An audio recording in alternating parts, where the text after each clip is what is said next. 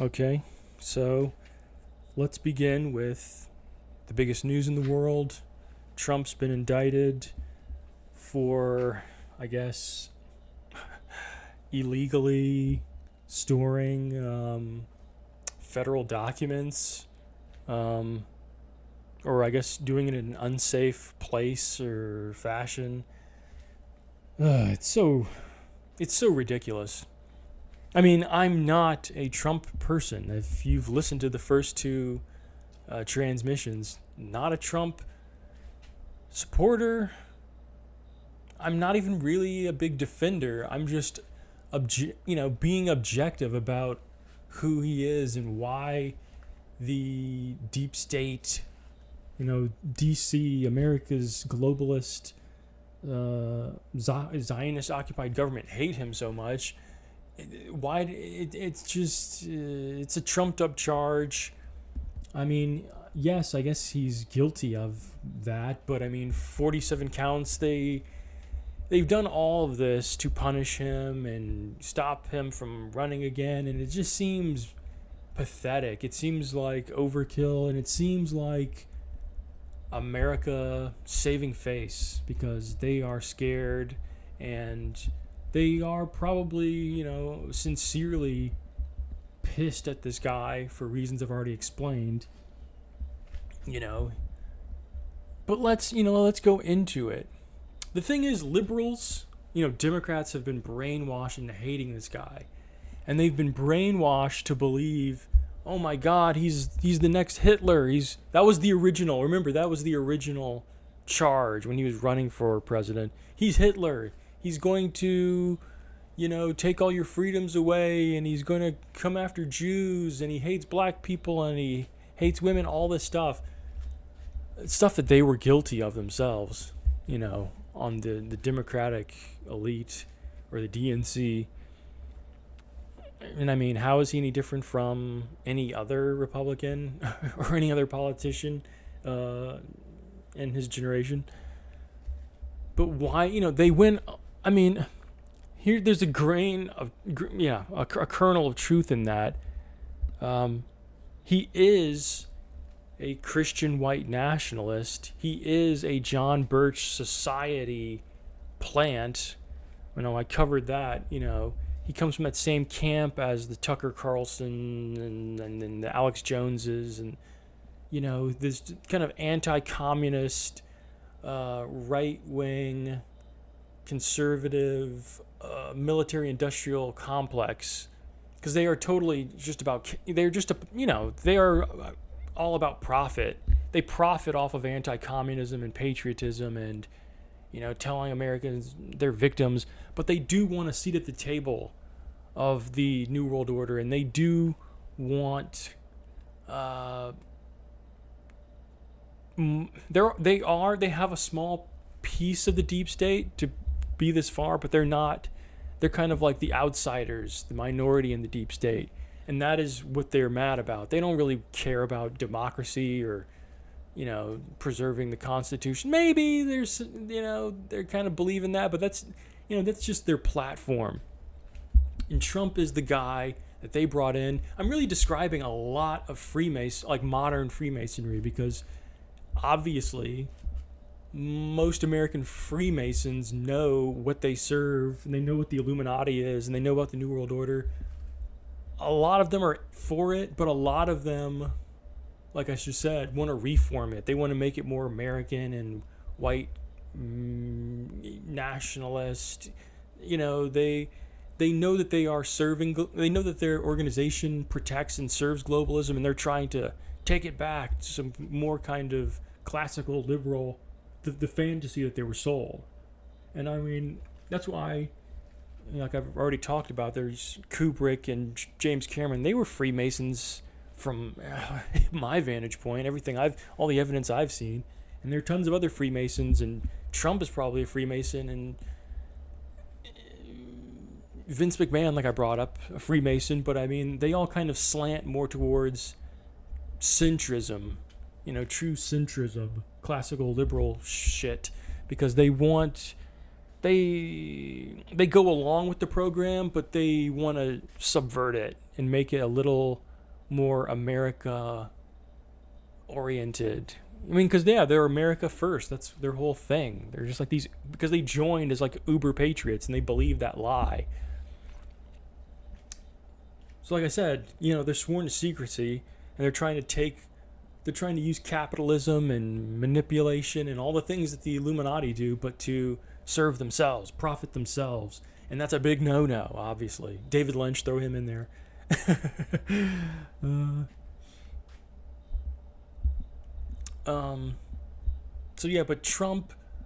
So yeah, I do believe he is this Christian nationalist who is against the deep state and globalism to an extent.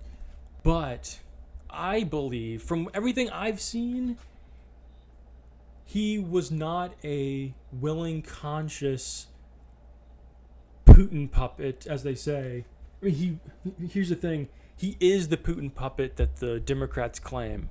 That is that's be, after the Nazi thing stopped working. They just started calling him a Putin puppet because that really is why the deep state and the liberal elite and the globalists hate him. He's he is being he was and yeah he was exploited by Russia and China to help him. They wanted him to be elected. They, I doubt he worked with them in any, you know, criminal or um, close, um, yeah, fashion. It, you know, there's there's no evidence of it. They went years trying to prove it. That was a total waste. They never had, they never apologized or admitted all the tax money and fear mongering that they did with RussiaGate. But yes, Russia and China obviously wanted him to be president because he is a nationalist like them. He did not want to, he wanted to make trade fair with them so America would stop being exploited and destroyed by uh, globalist design. But he also wanted to ease tensions with them and have a, a you know, just a, a friendly kind of economic uh, relationship with them. And I mean, I guess in a way, maybe he was consciously helping BRICS. He wanted them to get away from the American dollar. That's for debate. It doesn't even matter because why would that make him a criminal or a bad person or a bad president? You know, uh, he sensed it's possible. He sensed America being America first is um, getting away from the U.S. dollar and the corruption of the Illuminati and stuff like that. I mean, I guess, yeah. I mean, if he is this Christian nationalist uh, sort of, you know, com- comparatively progressive, even left wing Freemason, yes, he would consciously be working against the Illuminati, but in a very, t- you know, in a very strategic, moderate, moderate kind of right wing way. And that's why he's being punished. That's why they're going after him. So, I mean, yes, he is probably the best president we've had since Kennedy. And in a way, probably better, more successful. Um, definitely not as damaging. Because, I mean, come on. Kennedy was a right winger and a, you know, a war hawk and all these things. And he let the beast out of the fucking you know, out of the, the the cage. That is the CIA and the New World Order and all of that. And he got killed, so he failed. Trump, Trump, you know, this is going to be a very hotly debated thing. Intentionally or not, he has hurt the New World Order worse than anyone else, any American ever and it's it's an uh, incredible thing. I mean, they can't. That's not. That's treason to the New World Order. That's not treason to America. That's the f- thing. It's like he is a real patriot, you know. Um, but yeah, they're coming after this guy, and yeah, I mean, yes, okay, Democrats, he is a Putin puppet. Who cares? Do you know who the pu- you know like Obama and Biden. Do you know who Biden is a puppet of? I mean, pure, unadulterated, anti human, you know, evil. You can't say that about Trump. Um, so, yeah, it is sad. I mean, this was uh, the Republican Party's best guy. Um, and now you see RFK Jr. coming up. I believe RFK Jr. is the this this group, this uh, kind of alternative deep state, this minority deep state. I believe this is their guy. I think that they. I mean, look at it. You got Elon Musk getting behind him. Come on, that is letting you know right there that you know uh, some new world order Freemasonic people want this guy. Some influential people want this guy in there. And I mean, he's really coming out of nowhere. And I mean, he is so right wing in most of his platform. He's not really progressive in any way besides, you know, uh, being a na- comparatively nationalist and against, you know, he, he's, you know, he sees the the eugenics and of the new world order. He seems to be against it. And he's probably for imperialist wars, capitalism, Zionism, all these things.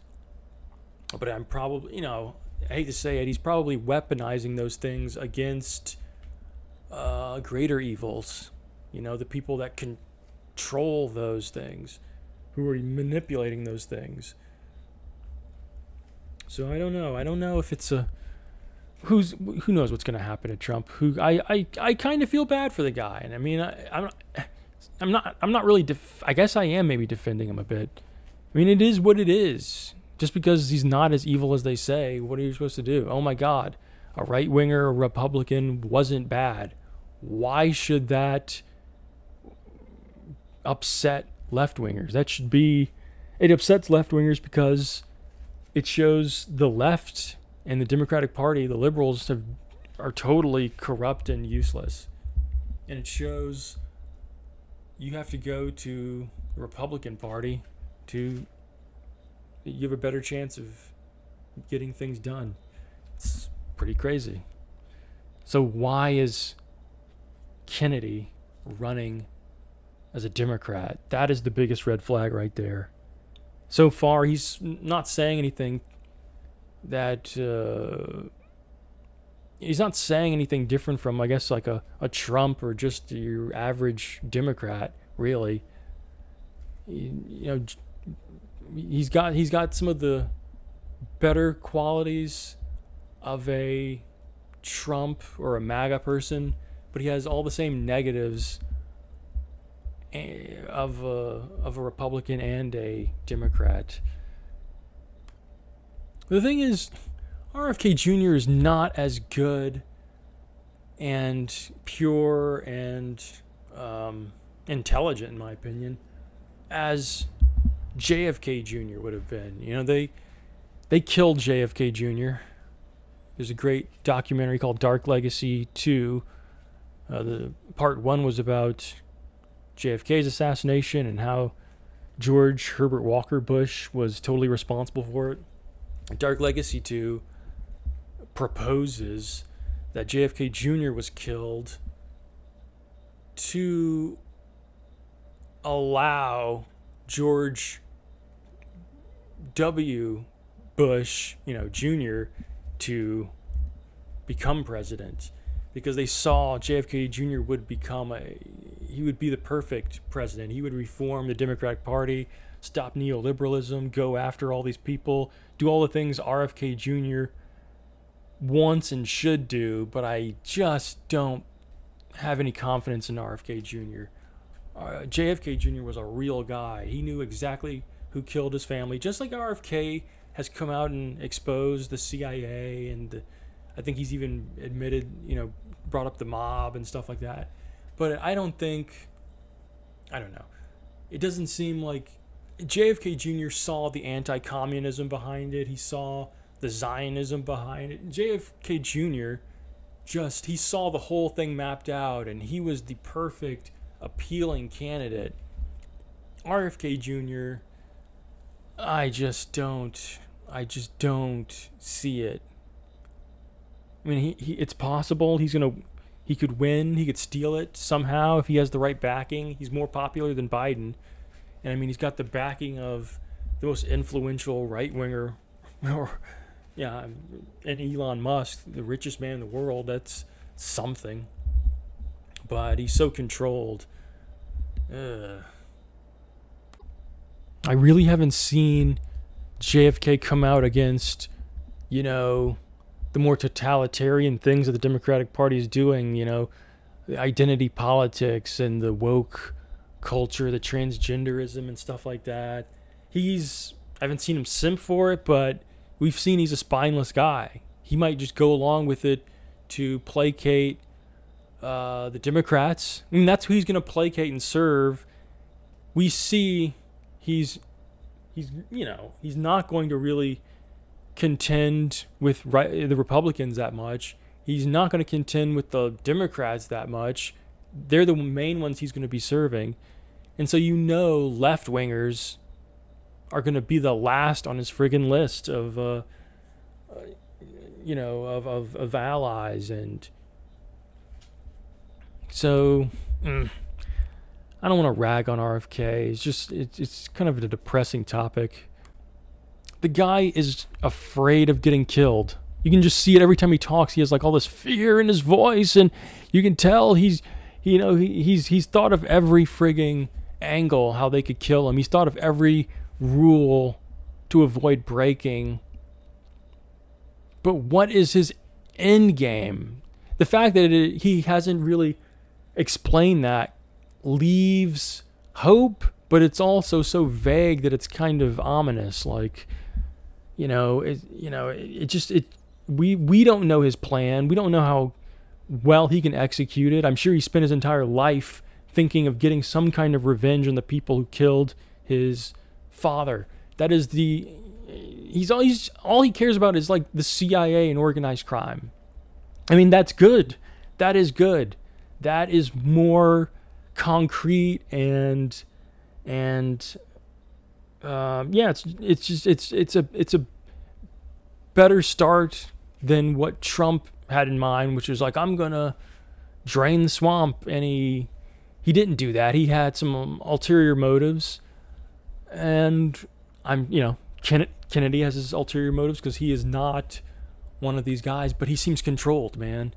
He seems controlled by like the the same kind of the same kind of handlers that Trump had. And let's talk about who they they might be because Trump to me is a Manchurian candidate and that's funny because that ties right into Kennedy again. To those unfamiliar, Manchurian Candidate is a novel turned into a very influential movie about a conspiracy. It's like the, you know, foundational conspiracy thriller where a right wing politician is programmed by Chinese and Russian communists to kill uh, a right wing presidential candidate, so his communist, secretly communist um, running mate will take his place. And, you know, it's basically just like, oh, how communists are, you know, communists within America are, you know, conspiring and trying to take control and they manipulate right wingers to do it. I think Trump is a Manchurian candidate. I think it's probably, if it's not communist, some subversive American group, entity, whatever, used him to help China and Russia. You know, he was the fall guy. And he probably, you know, I'm sure he didn't know it. I'm sh- and I I I'm for it. I'm for. I don't know. That that might be controversial. Foreign and foreign intelligence manipulating and using American right wingers to help their own cause. I mean, it's just self defense and it's revenge because, I mean, how much has the American government, or at least the CIA, not so much the American government, but kind of rogue entities within, criminals within, they've sabotaged and assassinated and co opted movements all over the globe. And it's like, ah, their biggest fear was it happening to them. you know, that's just karma. That's how the universe works, man. That's how uh, Allah, God works. That's how it operates. What you put out comes back to you. You know, the same energy you put out and into other people that influence the pain or the joy you inflict on them is going to come back to you. And then it matters who you, the energy, it's not just the energy you put out, but to whom that energy is given.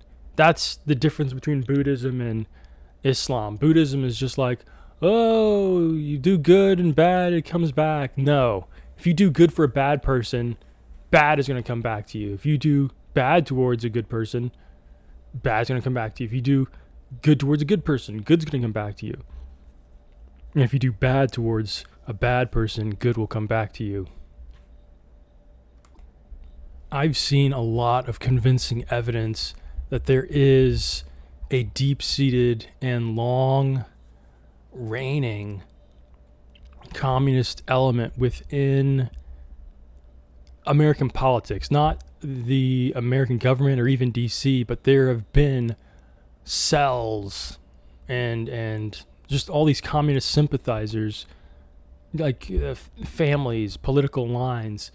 For example, surprisingly, Kamala Harris, her family were Marxists, and it, it's it's it's like that. It's like little governors and attorneys and these upper class political families who work within the Democratic Party have never really had any real power, but they are essentially communist agents, and they're you know it's a handful. It's nowhere near the exaggeration uh, that the right wing, you know, specifically the John Birch Society right wingers, Republicans, put out. Like most, 99% of Democrats are anti communist.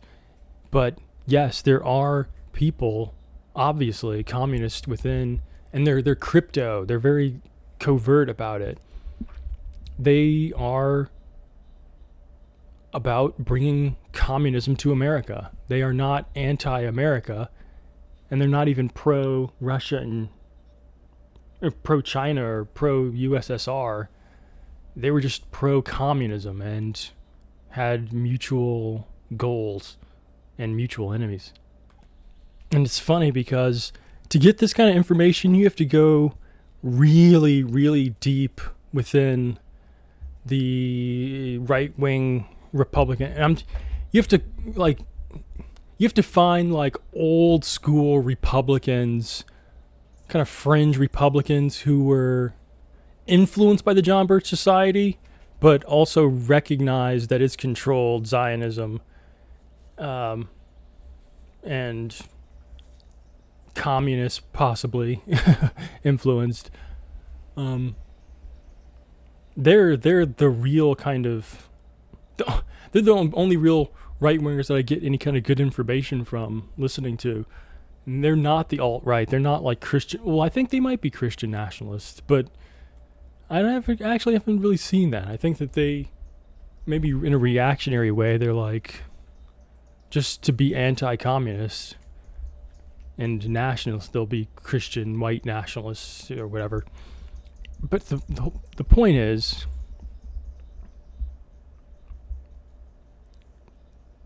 Trump was used uh, not even so much as a Putin puppet, but as a Chinese puppet, a Manchurian candidate.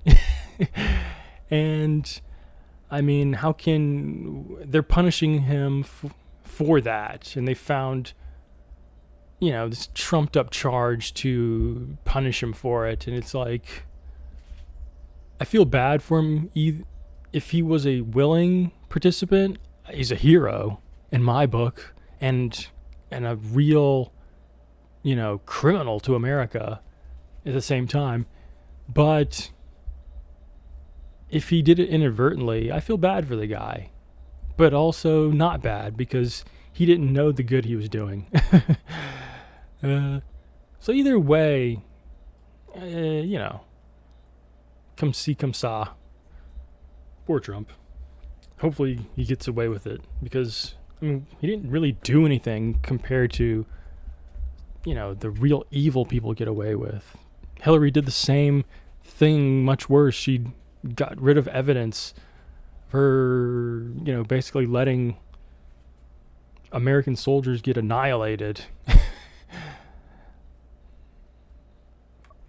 what's interesting about the Manchurian Candidate is the film version is probably one of the most important things a conspiracy theorist needs to decode and understand. Now, that film came out a few years before JFK was assassinated, but it is about the JFK assassination. It is predictive programming. It is CIA propaganda. I've already explained how that's possible, how the CIA has controlled Hollywood and media from their inception. They, were created for that purpose to spy on American citizens and foreign governments and to control us with lies, propaganda. So, the Manchurian Candidate film, you know, stars Frank Sinatra, who's a very close uh, friend of JFK, helped him get elected because he had mob ties. Um, he was actually friends with the head of the mob, Sam Momo Giancana, who, of course, rigged the Chicago election, the Democratic primaries in the Chicago, in you know, the Chicago uh, primaries to help to clinch the win for JFK. And JFK, his family already had mob ties, and he wanted to cut those ties. He went, he just used them to get elected, and that made Kennedy feel. I mean, that made Sinatra feel used, and JFK cut ties with Sinatra because of his mob ties. You have to understand this was an era where Americans were just learning what the mafia is and how powerful they were. They they ran every freaking city, and people didn't know what they really did. They just thought they were like these depression era entrepreneurs who were just flossing and worked together in business. Those were just fronts. They were obvious, obviously organized criminals. And, you know, the FBI was created, not created, but the FBI really made its name taking down organized crime. And so the CIA worked closely with the FBI. With the CIA worked closely with the mafia and used them to get things done. And they would use, the CIA would contract the mafia to kill JFK because of the animosity and the betrayal that JFK did to the mob. And it's much deeper, you know, they the mob killed Marilyn Monroe and she was actually a CIA honeypot agent and the CIA and FBI believed that she had communist ties, so she was expendable to them. But before any of that, how she became a CIA and agent and a Hollywood movie star is because she was actually uh, the mole of Momo. She was basically just oh, his whore. She slept her way to the top. She was his girlfriend, prostitute, he used her to get information and get power over people, that being JFK and and RFK and you know the the government and the mob killed her trying to frame one or both of the Kennedys and you know to stop them from getting reelected, or I guess, uh, yeah, I think so, or just to get them actually impeached. I think, and it didn't work. Uh, the frame up didn't work because there were elements of the CIA and FBI who were good then, and they kind of warned JFK, got him to sidestep it, and this is when JFK really knew it was on and they were coming for him. But back to the Manchurian candidate. The Manchurian candidate, Frank Sinatra plays the best friend of the Manchurian candidate, this politician who's being used to by communists to serve them. And that has always been the government's that's always been the false narrative that the government the CIA has put out was that oh, JFK was being used by the communists. Uh, that's why he, he he he stood down against in the Cuban Missile Crisis. He was he was actually a patsy, a puppet for the communists. So that's why we had to take him out. And that is that's what they tell each other because they can't just say, "Oh, he was against the New World Order, so we had to kill him." They lie and say, "Well, he was he was a good man, but he was a fool who was used, being used by communists, so it was patriotic to just murder him. You know, this is what the CIA's top people believe. They believe that it was a good thing to kill him because he was this anti American. He was, you know, he got in with the wrong crowd and was used like like they he was a Manchurian candidate. So that's what they tell you, you know. The Manchurian candidate was put out as Hollywood propaganda so people would be okay with the assassination of their own leader and they would use this excuse like obviously he was a communist. He had to be taken out. And that's always been the re- republicans view on it is like he was a communist. Jfk needed to be taken out. They just stopped them from questioning ironically it's been republicans in the last 20 30 years who've been questioning the jfk assassination because they've seen the deep state and the corruption and they've questioned the narrative it hasn't been democrats except for the kennedy family that's really it. Who they were the Democratic Party's royalty. Every time, you know, Bill Clinton, Ken uh, Biden, Obama, these guys got elected by just pretending to be Kennedy, by using the same, you know, dogma and performance and, and spe- even parts of the same of Kennedy's speeches, word for word. They've just bastardized and co-opted Camelot like, oh, we're gonna, you know, take you back to 19, was it 63? We're gonna go back in time and, was it 1950? What what year was it? I'm confused. What year did they kill him? It doesn't really matter. It's not important to the, you know, topic. But yeah, I mean the Democratic Party, that is the that is where the Democratic Party became corrupt. The murder, assassination of Kennedy and the creation of neoliberalism, people who were down with the murder of Kennedy. You know, all every single one except for maybe Carter, who wasn't a great president. Every single big Democratic uh, Democrat Party elite has been a neoliberal who knows who killed Kennedy and they're cool with it and they're cool just, you know, aping the Kennedys to get that power and serve the the pyramid. But you just you you need to watch the Manchurian Candidate because it's so blatantly obvious and it's so insidious that Frank Sinatra at the very end of the film has does like this eulogy where he's just like he was my friend, he was a great man, but he ran in with communists and so it was my patriotic duty to take him out. Frank Sinatra totally was a willing participant in the cover up and he knew they were going to kill Kennedy. I mean, he was a mafia made man. He was inside. He knew what they were going to do to his friend. And I mean, I understand he's a criminal, and it wasn't even his call, probably, but it's just like, wow. Frank Sinatra not a good guy. Ironically, after that, he became like this, you know, super icon based on you know, his friendship with Kennedy. And like I said, Kennedy wasn't even really that cool with them. He just kind of used him for political purposes. And they, you know, screwed, you know, mob uh, chicks together, prostitutes, not knowing a lot of them were honeypot agents. And you have to understand Marilyn Monroe is essential to the MK Ultra and pro- well actually Oswald was a victim of MK Ultra but Monroe Marilyn was a huge um, she's she's almost like the prototypical monarch victim you know? Lots of sexual trauma girl from the middle of nowhere remade.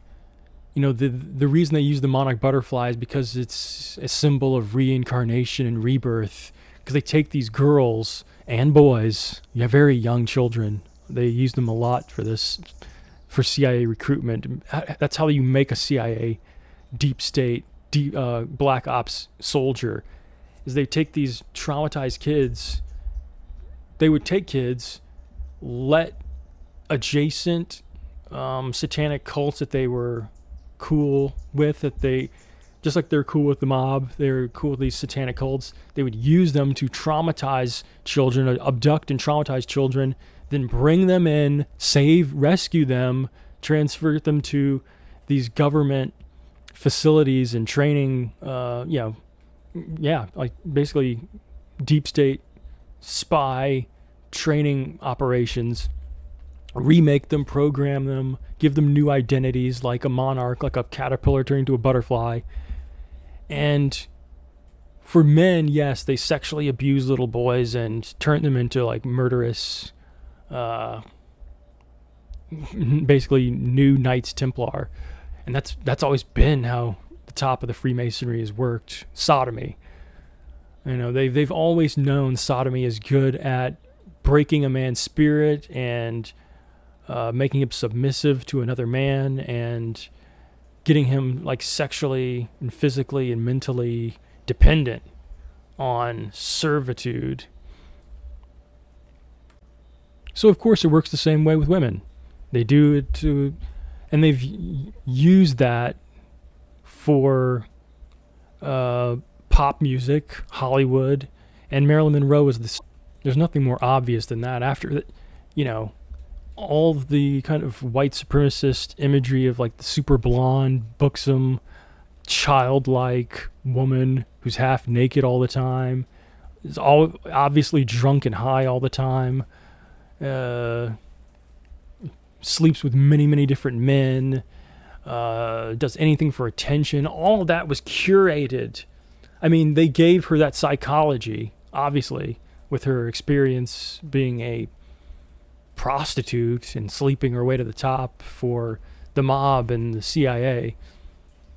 They they conditioned her to be like that. They they find people with you know susceptible psychology and make them worse, turn them into agents, and I mean I've just described like every freaking pop star since I don't know Elvis. it's messed up, but it's true. Michael Jackson, uh, Britney Spears. Oh my gosh, all of these new rappers.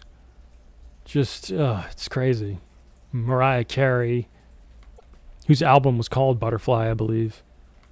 Oh, and Madonna's lame ass. You know? So, we really need, if you're a leftist and you're listen, listening to this, you really need to go out of your comfort zone. Stop listening to Democrats.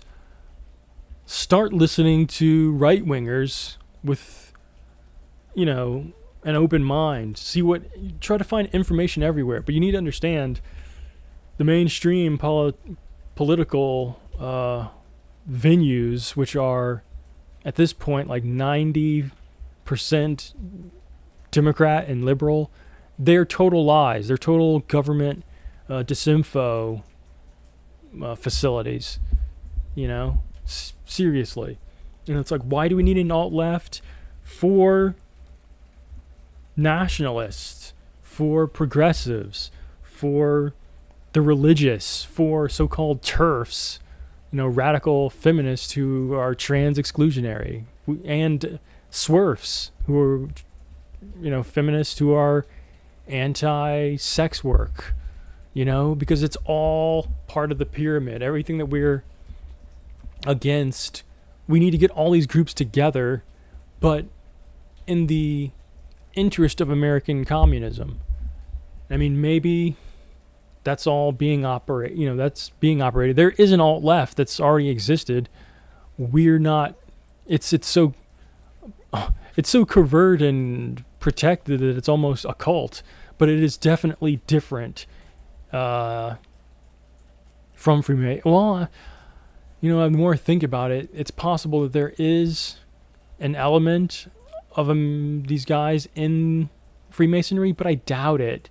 I, I, I imagine the top American communist, you know, leaders and leagues have origins and memberships in Freemasonry, but I, they have to be the tiny minority because more and more Freemasons would be against them. You know, they would be speaking out with more clarity and urgency about American communists and who they are. Instead, they're focused on George Soros and all these guys who are foreigners and, you know, Jews. They're not even, they wouldn't even need to be Masons. You know, I, I, I believe like a David Lynch, I've already said, is a communist. Um, not communist, a Freemason, but he his his he's more worried about fascism and white nationalist uh, even though I believe he is a white nationalist, but he's more worried about like the fascist takeover and liberal authoritarianism than communism. Communism specifically is something separate from the globalist, neoliberal, neocon uh, agenda. And a lot of Republicans don't understand that because they have these Masonic John Birch Society Republicans putting everything on communism instead of the deep state that they're trying to join. You know, why do I hate why do I hate the American left, mainstream left so much? Perfect example this week. Oh boy, this is being recorded in Pride month and some Canadian Muslims were filmed um, getting their children to stomp on, you know, child oriented, rainbow, pride, LGBT flags and propaganda, all this rainbow covered stuff for kids. And I saw thousands, I think a post had like 65, 85,000 likes about like, oh my gosh, these Muslims, they are groomers they should have their children taken away. They are godless, anti, you know, anti children. They're hate. They're a hate group. I saw popular post saying that just total xenophobic popular post like these people shouldn't even be allowed here. They should go back to their own country. This is coming from so-called progressive millennial leftists who are gay, total fascist, speaking.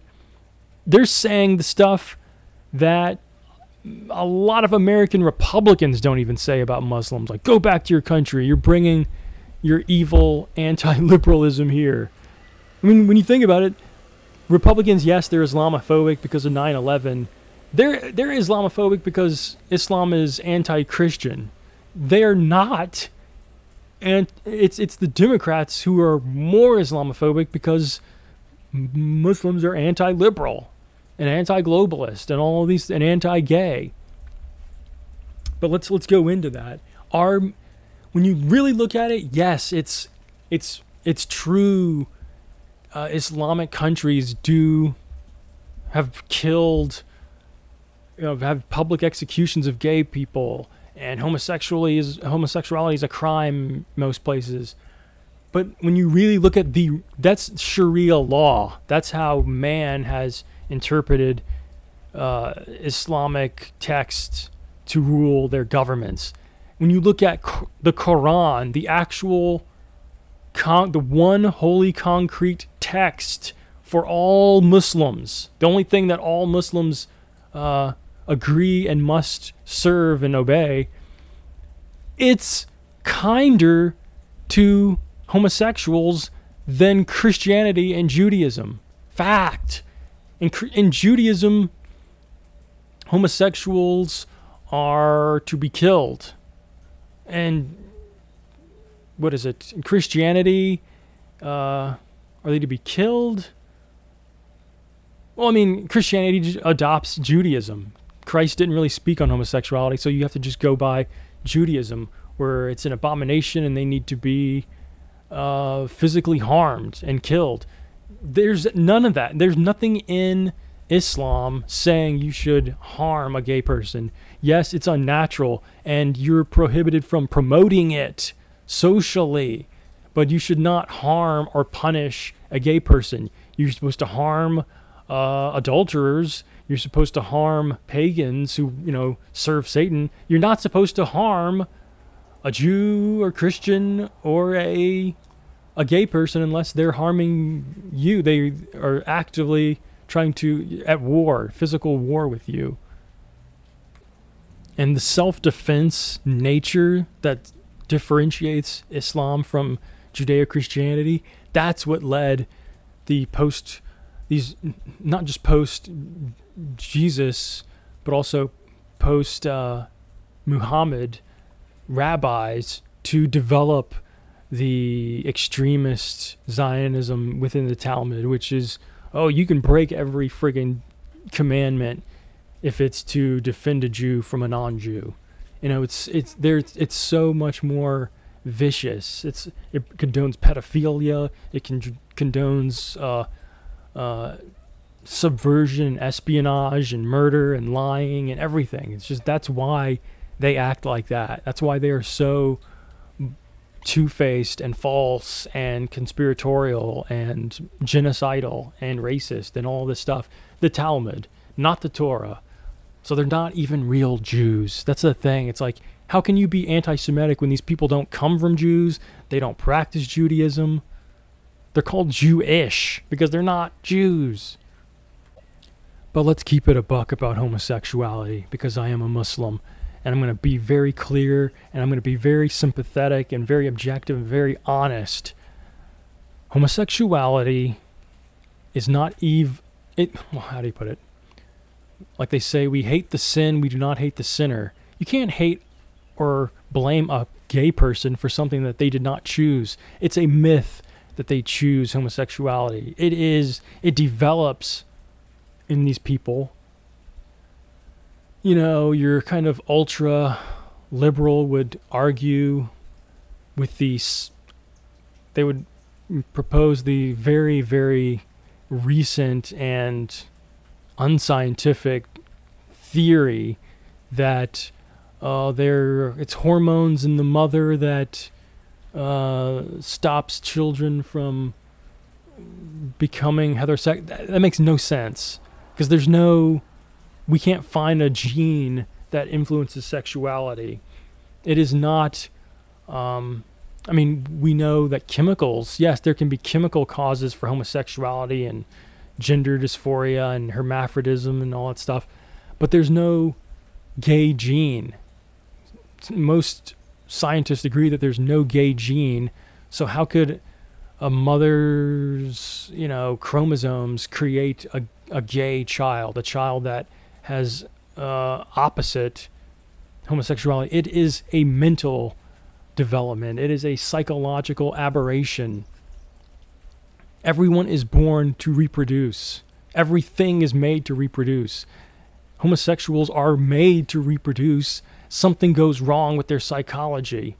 And we can go to, you know, the, the, the research of Freud and better yet, Lacan, who came after and you know, it is the same.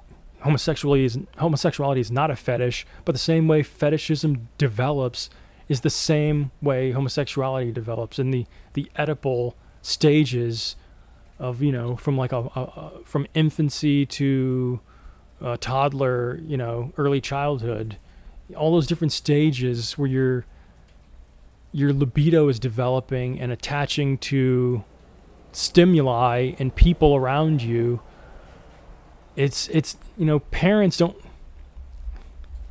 yes, it's true. You can turn a child gay, but it's it's not so much like oh their their parents didn't love them or someone diddled them. Even though those things have been, you can see it. You can see that as the what happened to a lot of gay people. We know this sexual trauma, but most of the time they're just attaching to you know um, they're attaching to the wrong parent or you know other adults or maybe like a you know TV images. But mostly they're they're not seeing men and women their parents or just you know men and women so in society performing the proper gender roles capitalism has screwed everything up where you have women being dominant and careerist and acting like men and not reproducing and not becoming mothers. And you have men becoming just weak and submissive to women and you know, they have to pay for sex and all this like they're they're becoming feminized. And that backward and this is all from liberal capitalism backed by of course, you know, conservatives and republicans. It's it's if the system is breaking down, the same way the economic system is breaking down, the sociological system is breaking down, norms are breaking down, and it's affecting the kids. And the people who are denying that, they're the groomers, man. They're the main groomers. There, yes, there are groomers within the gay community who are just actively out there grooming kids. Because what is homosexuality? It is rejecting sex for re- reproduction and solely embracing sex for pleasure. That's why you know like bis- you have bisexuals. They're they're just like hedonist and narcissist who see sex, you know, for for both. They they just have way uh, uh, an unhealthy slant for pleasure I mean, gays, it, that's all they do it for, you know. But you still, everyone is born, like I said, everyone is born with the reproductive instinct. Theirs is just like broken and uh, underdeveloped and arrested. They still have it. Homosexuals still have reproductive instincts. What do they do? Non sexual reproduction.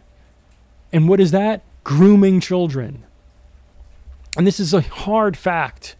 Most, not most, but autistic people have a higher degree, much higher degree of homosexuality and transgenderism and queerness. And what's comorbid with that is oppo- oppositional defiant disorder, ODD, odd, which is basically like just doing the opposite and getting like a it's a it's it's a psychological gratification, but I would argue it's a psychosexual gratification because if you're oppositional to everything and you get pleasure from being oppositional, you get oppositional, you, you get pleasure from being oppositional about sex. And that's what a lot of homosexuality is.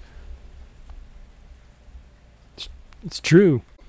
And if you have oppositional defiant disorder and you have autism and you can't understand social norms and you're emotionally cold to the feelings of others. And also, homosexuals have a higher uh, degree of narcissism, or at least narcissists have a higher degree of homosexuality. They can't process that it's not cool to groom other people's kids to homosexuality. They don't. They it just doesn't process. You can't. They're they're as was uh, I think Charlie Murphy said, they're habitual line steppers. They don't care about boundaries. They they can't even empathize with heterosexuals. You say you can't preach butt sex and you can't preach sodomy to children and say this is normal. You can't talk to other people's kids about sex. They you it just it it will never register to these people because they're basically emotionally their children. That's why they're called gay. They've always been called gay because they're like stunted, you know, children. They're like they have an arrested development. That's all homosexuality is. their their sexuality is stunted at a certain level. They didn't they didn't form their homo, their heterosexuality got confused and broken and focused inward. That's why they're so narcissistic. They're attracted to their own image. They're tra- attracted to their yes, they're attracted to their own image. Because there is a mirror stage in the Oedipal complex in the Oedipal development and they get they, they get hyper focused in the mirror stage. Mean, look at it seriously. You see Heather mm, homosexuals with partners that look just like them, or they're obsessed with fitness, or they're obsessed with partners who are, you know, all about image and fitting an image and stuff like that. When I'm talking about like the butch lesbians, they're with the super femme lipstick lesbians who are just kind of like a cartoonish version of femininity. And they put on this cartoonish version of masculinity to attract those lipstick lesbians. To me, liberals are so much more homophobic. One, because, you know, they're letting, they're enabling the grooming and they, you know, treat them as Bret, Bret Easton Ellis, a great homosexual kind of conservative uh, novelist once said, liberals treat gays, and gays want to be treated as gay baby pandas. They want to be these fragile little snowflakes who never questioned and get away with everything, like, you know, children. That's what's so creepy. There, so many of them, and it's so it's it's it's it's toxic and wrong to just, you know, say most of them are um, pedophiles or you know prey on children they're groomers they groom children towards homosexuality and a huge number of them capitalize on that and abuse children to get their homosexual uh, tendencies out but that's really just about that's an argument for pride in my opinion, pride should not be.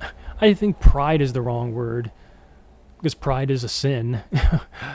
um, but a healthy kind of um, self acceptance and self love.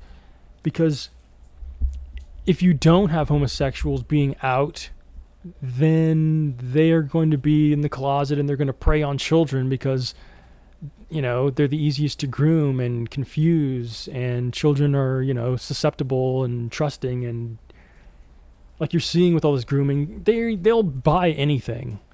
People talk about the the extremist parents teaching their kids to be homophobic that's a reaction to homosexuals since you know ancient times grooming children to be their sexual slaves i mean this is such a huge part of Freemasonry because it's a huge part of the satanic elite who've ruled since, you know, our pagan roots in primal communism. Yes, you need to understand we were communists before we were anything. And that's, you know, what we're trying to get to is, you know, a global communism, advanced technological communism, just like the Illuminati and the Satanists want the, the Atlanteans, in my opinion. The same way they want to rebuild Babylon. That's what they really. The, Babylon came later.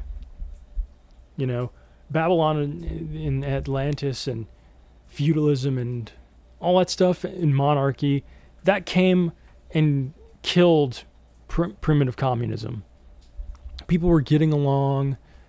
They were humanity was tribal and it was egalitarian and everyone lived off the land. You know, there was it was it was it was communism. People lived in communes. What changed everything was those pagan shaman who became tribal leaders like I explained, the dawn of of Satanism. They started coveting, you know, the women and you know, originally their job was simply like the elders in a tribe were there to marry everybody. They were there to pick, you know, spouses for everybody because marriage has been around forever. Like there's always been marriage because even these primitive people, I mean, really primitive, I'm talking like the dawn of Homo sapiens, they've always known polygamy, not polygamy, because polygamy's developed later, but they've always known um, you need monogamy in marriage because you would have a guy who you need to know whose children you need to know which children you're responsible for.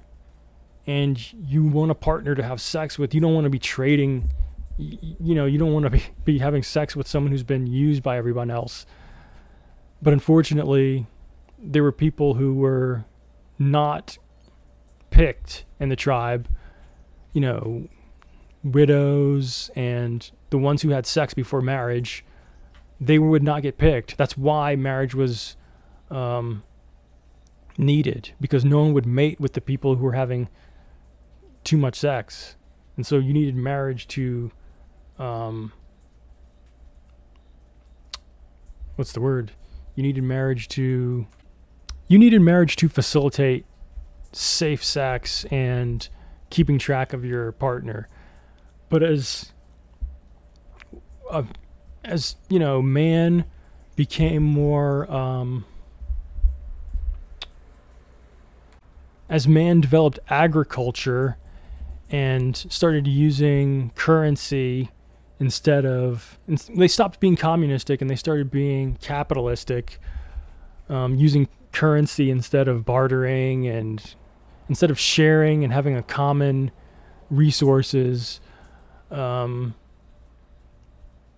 men started gaining wealth and started coveting power and having hierarchy and they needed to start leaving their wealth to their ancestors, their their children. This was foreign before then.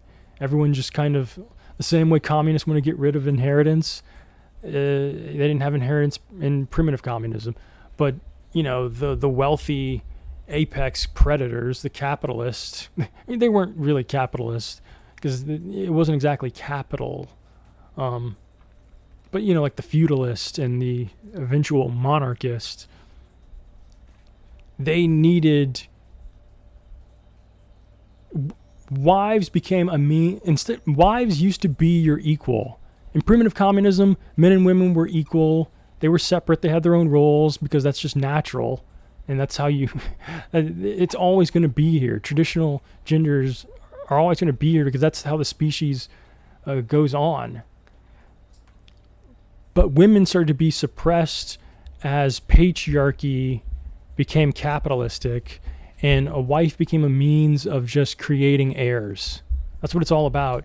And then that's when polygamy turned into something evil. I'm I'm sure polygamy existed before then, but it became some it became more about like concubines, like like I said, just making heirs and also stunting on uh, the, it became a, a status symbol like oh you only have one wife and i'm sure that's how child marriage developed and really quick Islam did not create those things. Islam doesn't even normalize or defend those things. These were things that were existing in the pre Islamic Arab and Middle Eastern societies. Islam is, you know, Islam gave rules to all these pagan people, but of course, um, it, it, it, it's it didn't like um, what's the word? It doesn't condemn them, which bothers people. That's why, you know, child marriage and polygamy still continued for a long time.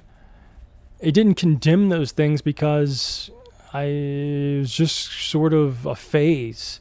They kind of knew the same way you know, Islam or no holy books condemn capitalism, but if you follow the morals of these of this book, then those things just naturally go away.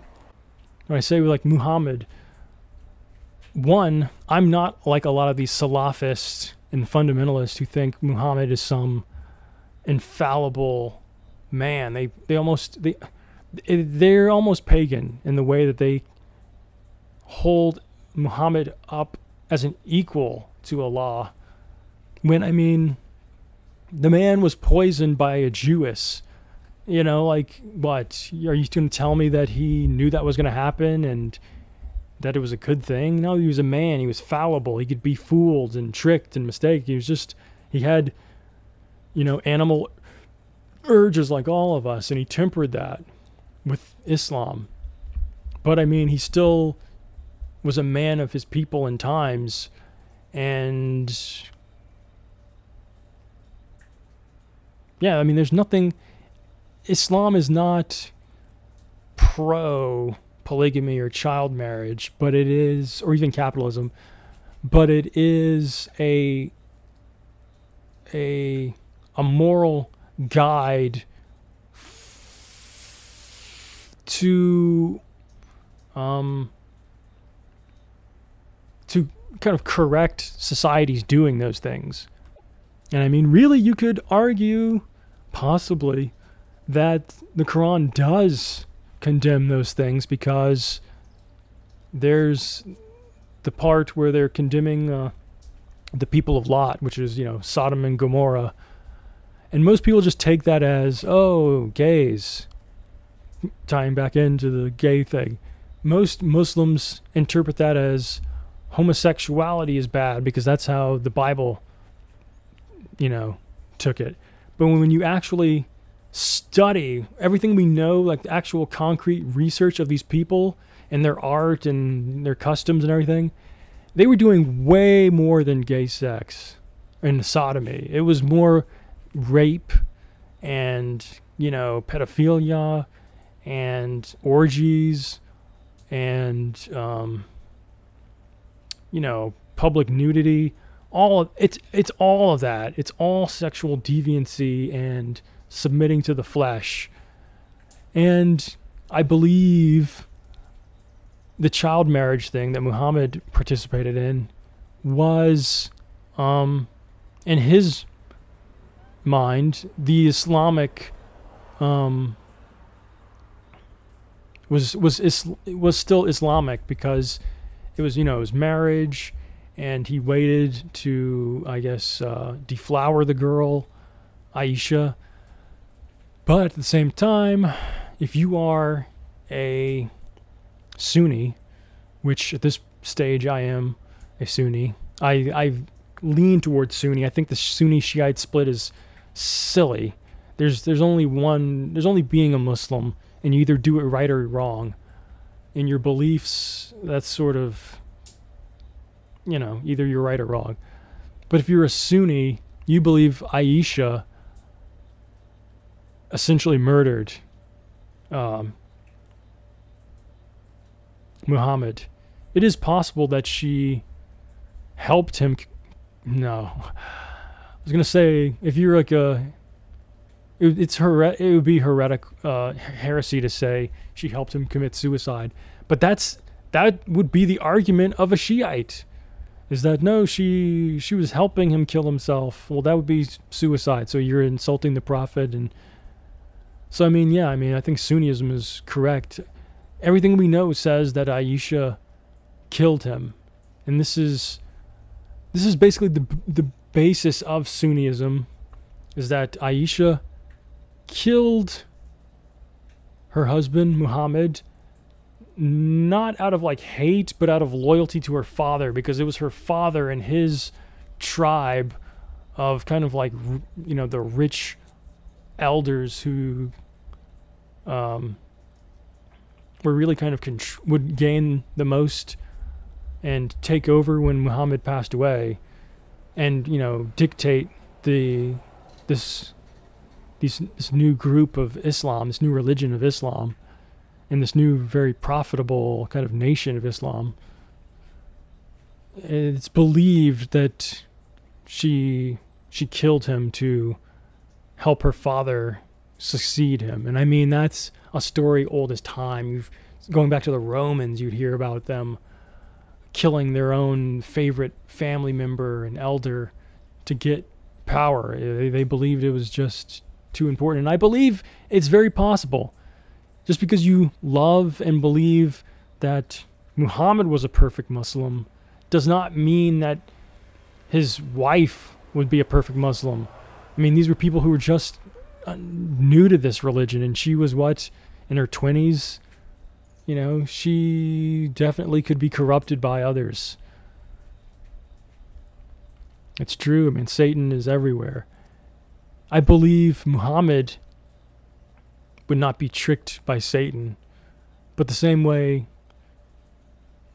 Jesus was betrayed by people Satan was controlling.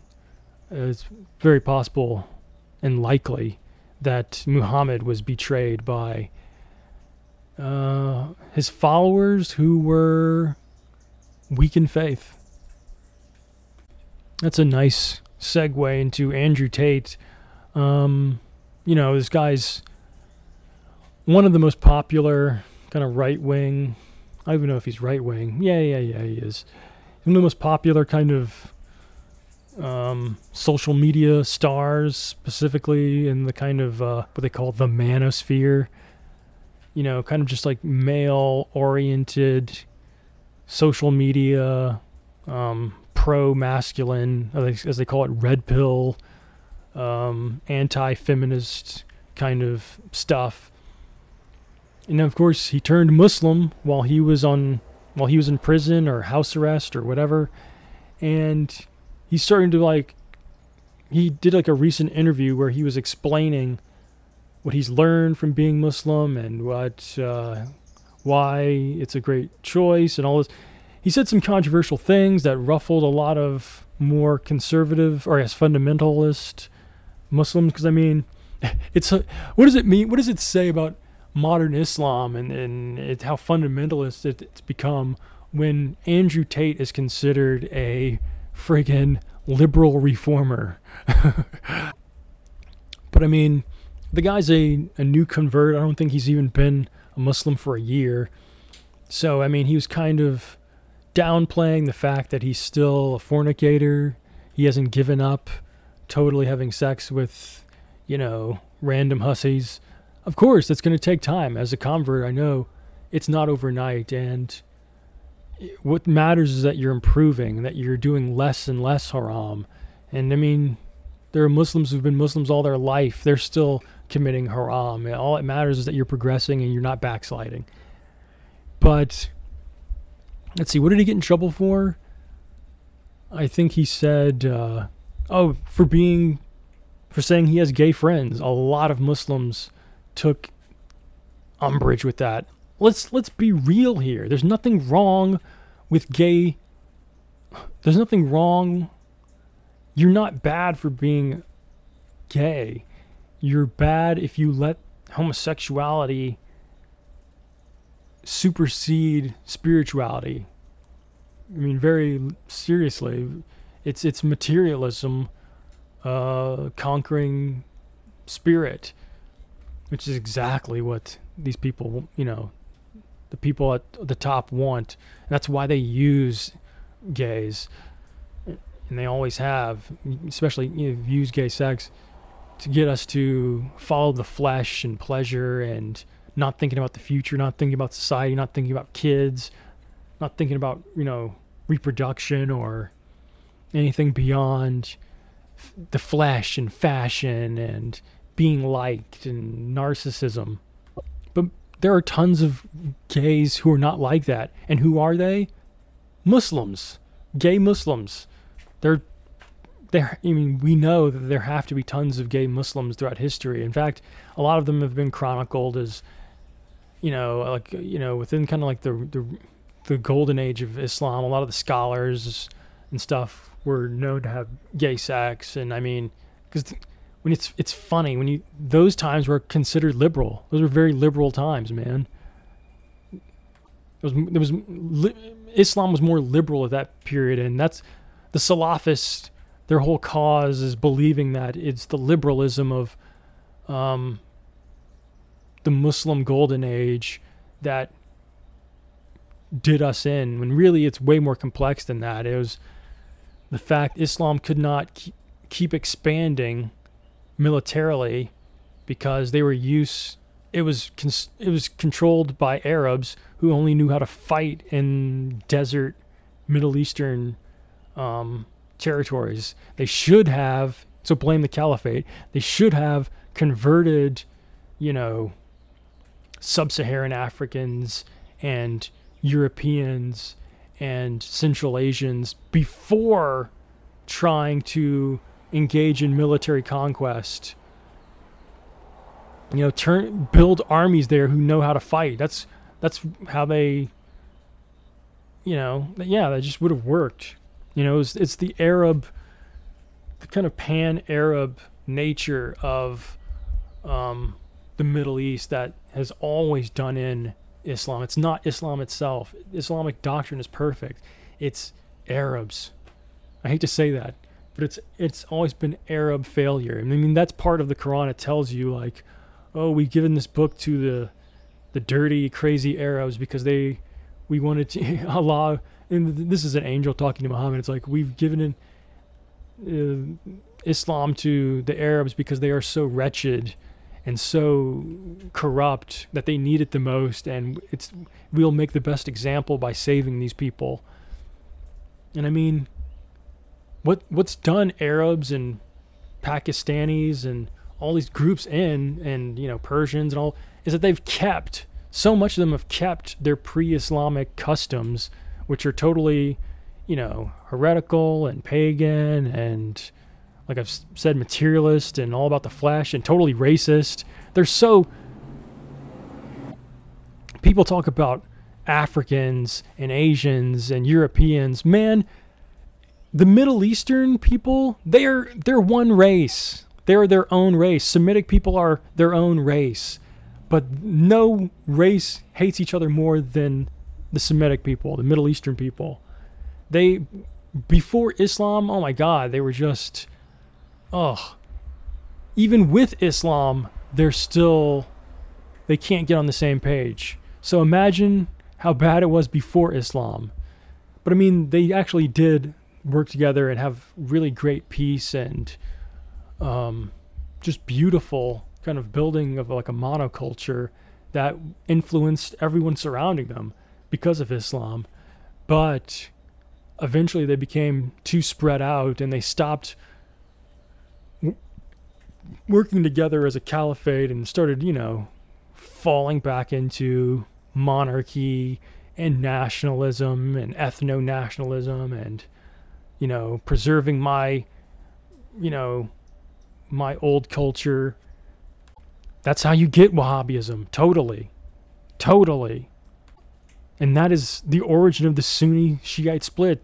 This the Shi the Shiites are totally ruled I'm sorry, sorry. The um I've been saying it backwards. The it's the the the the uh the Sunnis who are so corrupt. The Sunnis who you know were dictated by kind of the upper class, anti democratic elites within the Muslim community who really just converted for um, to avoid war, and they they didn't really have any spiritual means. They weren't siding with the masses. Just I have to have to re-explain the Sunni Shiite thing because I I'm I, I apologize for really for because confusing the two words will really um, mess people up. It'll offend Muslims and it'll really confuse non-Muslims. The the Shiites are the ones who believe Aisha killed uh, the Prophet Muhammad, peace be upon him, and the Sunnis, who are the vast majority of Muslims, were ruled by the people who um, capitalized and put their own people in, and they they they said that they feared they didn't want a kind of democratic. Most Muslims wanted the Prophet Muhammad's family to take over. Uh, Ali, his, I believe, nephew, and the, I believe, like a son-in-law at the same time, they wanted Ali to take over.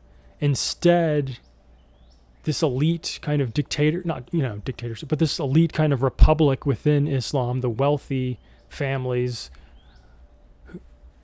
you know, who had like political power and they decided, well, no, we're going to put someone in who we think will uh, be stronger and will essentially listen to us and serve our interests, which is basically just conquest, uh, wealth and military conquest, instead of someone who was a who knew the religion.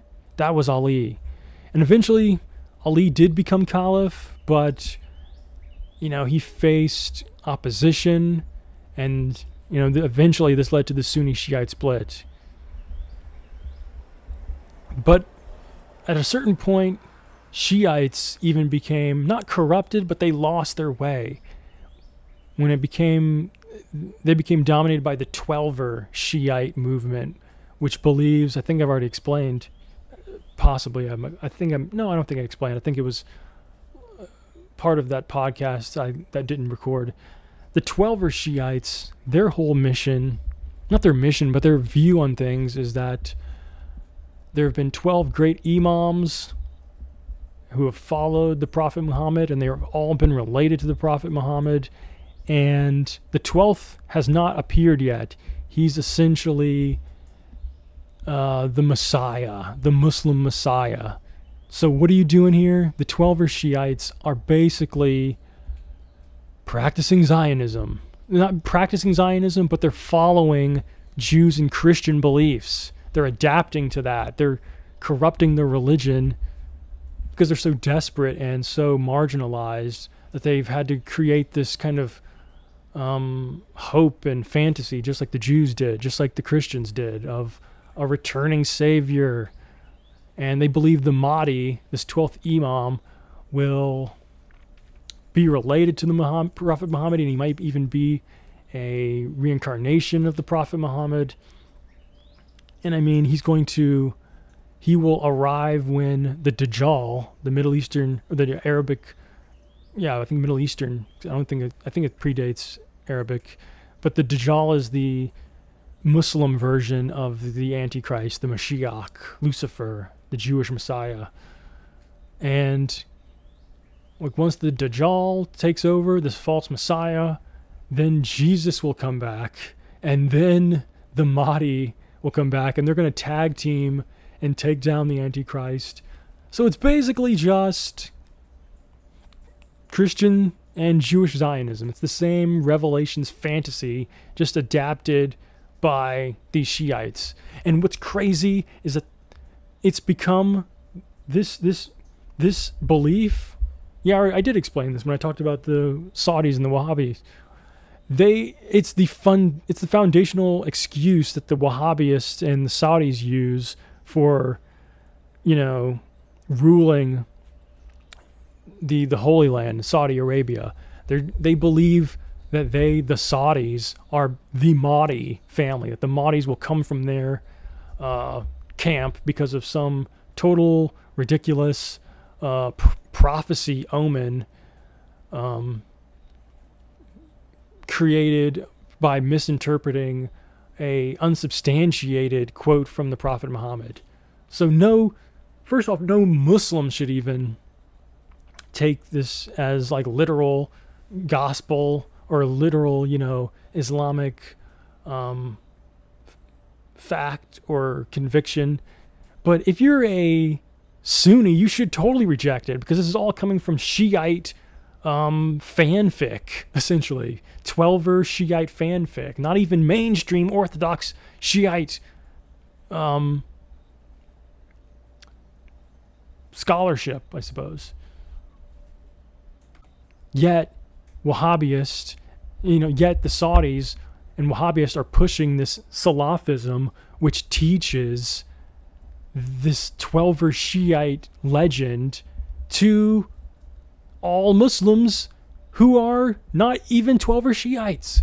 That's what's that's that's how you you can debunk their whole you can debunk Wahhabism. Their whole thing, Salafism, is rejecting every innovation in Islam that's come after the first generation. Then that means you friggin' reject Twelver Shiitism. That you don't believe anything except the Quran. That that's that's but how can so many Muslims fall for that? Because the vast majority of Muslims are illiterate. You know, Muslims have fallen back so hard, and it's not because they were too liberal. It's because actually it is. It's because they were too liberal to outsiders. They were they let all these Westerners in to their culture, and Westerners bastardized, plagiarized, and conspired within to destroy them, and they betrayed them. They betrayed the Muslims for centuries. I mean, many, many times they've betrayed Muslims for Muslims just being too nice and peaceful. That's the irony. We are depicted as like this warlike people, uh, invaders, and it's the opposite. We've been too trusting and nice, and that's always been our downfall. Is that our jihad has always been internal instead of uh, warlike. And I mean, oh, it's that's that's a whole other conversation to pick up on. But the, the we need to reject Mahdiism, as I, I like to call it. The idea of the Mahdi is so toxic. I've met so many Muslims from the Middle East who believe in it because they think it's like, oh, this is some fundamental stuff that's going to protect us from Western liberalism, Western Muslim liberalism. No, the Mahdi, the, the stuff about every frigging insane kind of sect of like modern sect of Islam that's been like Zionist or essentially a cult. They're usually it's usually blamed on Sufism. Like, oh, it's the you know Muslims will say Sufism is evil, it's pagan, it's it's heretical. It's it's Twelver Shiitism. It's not just being Sufist. Sufist just means like you're a a, a Muslim who practices uh, spiritual enlightenment and not just following the physical, you know, rituals and rules, but you actually attain and seek spiritual enlightenment through Islam. And Sufis are actually a, a long chain of uh, imams and scholars who can trace their uh, tutelage through all the way back to people who studied under Muhammad. Like their teacher's teacher, there's a teacher's teacher was, you know, um, a companion of Muhammad. They're considered like, um, if you're if they're if you're a Shiite, they're considered like the next best thing to um, Muhammad's dynasty, which I guess would be the Ayatollah right? Or and if you're a Sunni, then they are. If you're a Sunni Sufi, then a Sufi uh, imam or scholar is considered the the best um, authority on Islam. That is, even though like most of the imams who have favor and popularity and authority and have the most Muslims listening to them are not Sufi at all because Wahhabists have turned everyone against Sufism. Modern Muslims are so materialist and death obsessed and all about the world, and so many are all about money. And like I said, liberalism, they're totally divorced from Sufism, which, I mean, if you go back 200, 300 years, I think, or at least in certain parts, when, when, when Islam there was a time when most Muslims were Sufist, were Sufist. Yeah, because of course, there was a time when most uh, imams and muftis were actually could trace their lineage to the Prophet Muhammad, and that's becoming less and less, which is a very scary, scary thing.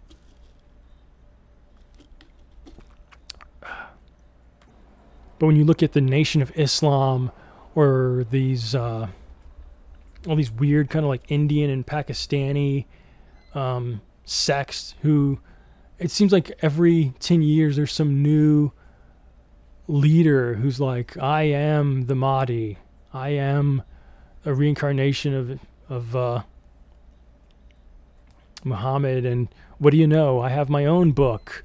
Like you know they they they try to build on Islam and say that there's a new chapter of Islam. And I think that's where the Druze come from I believe.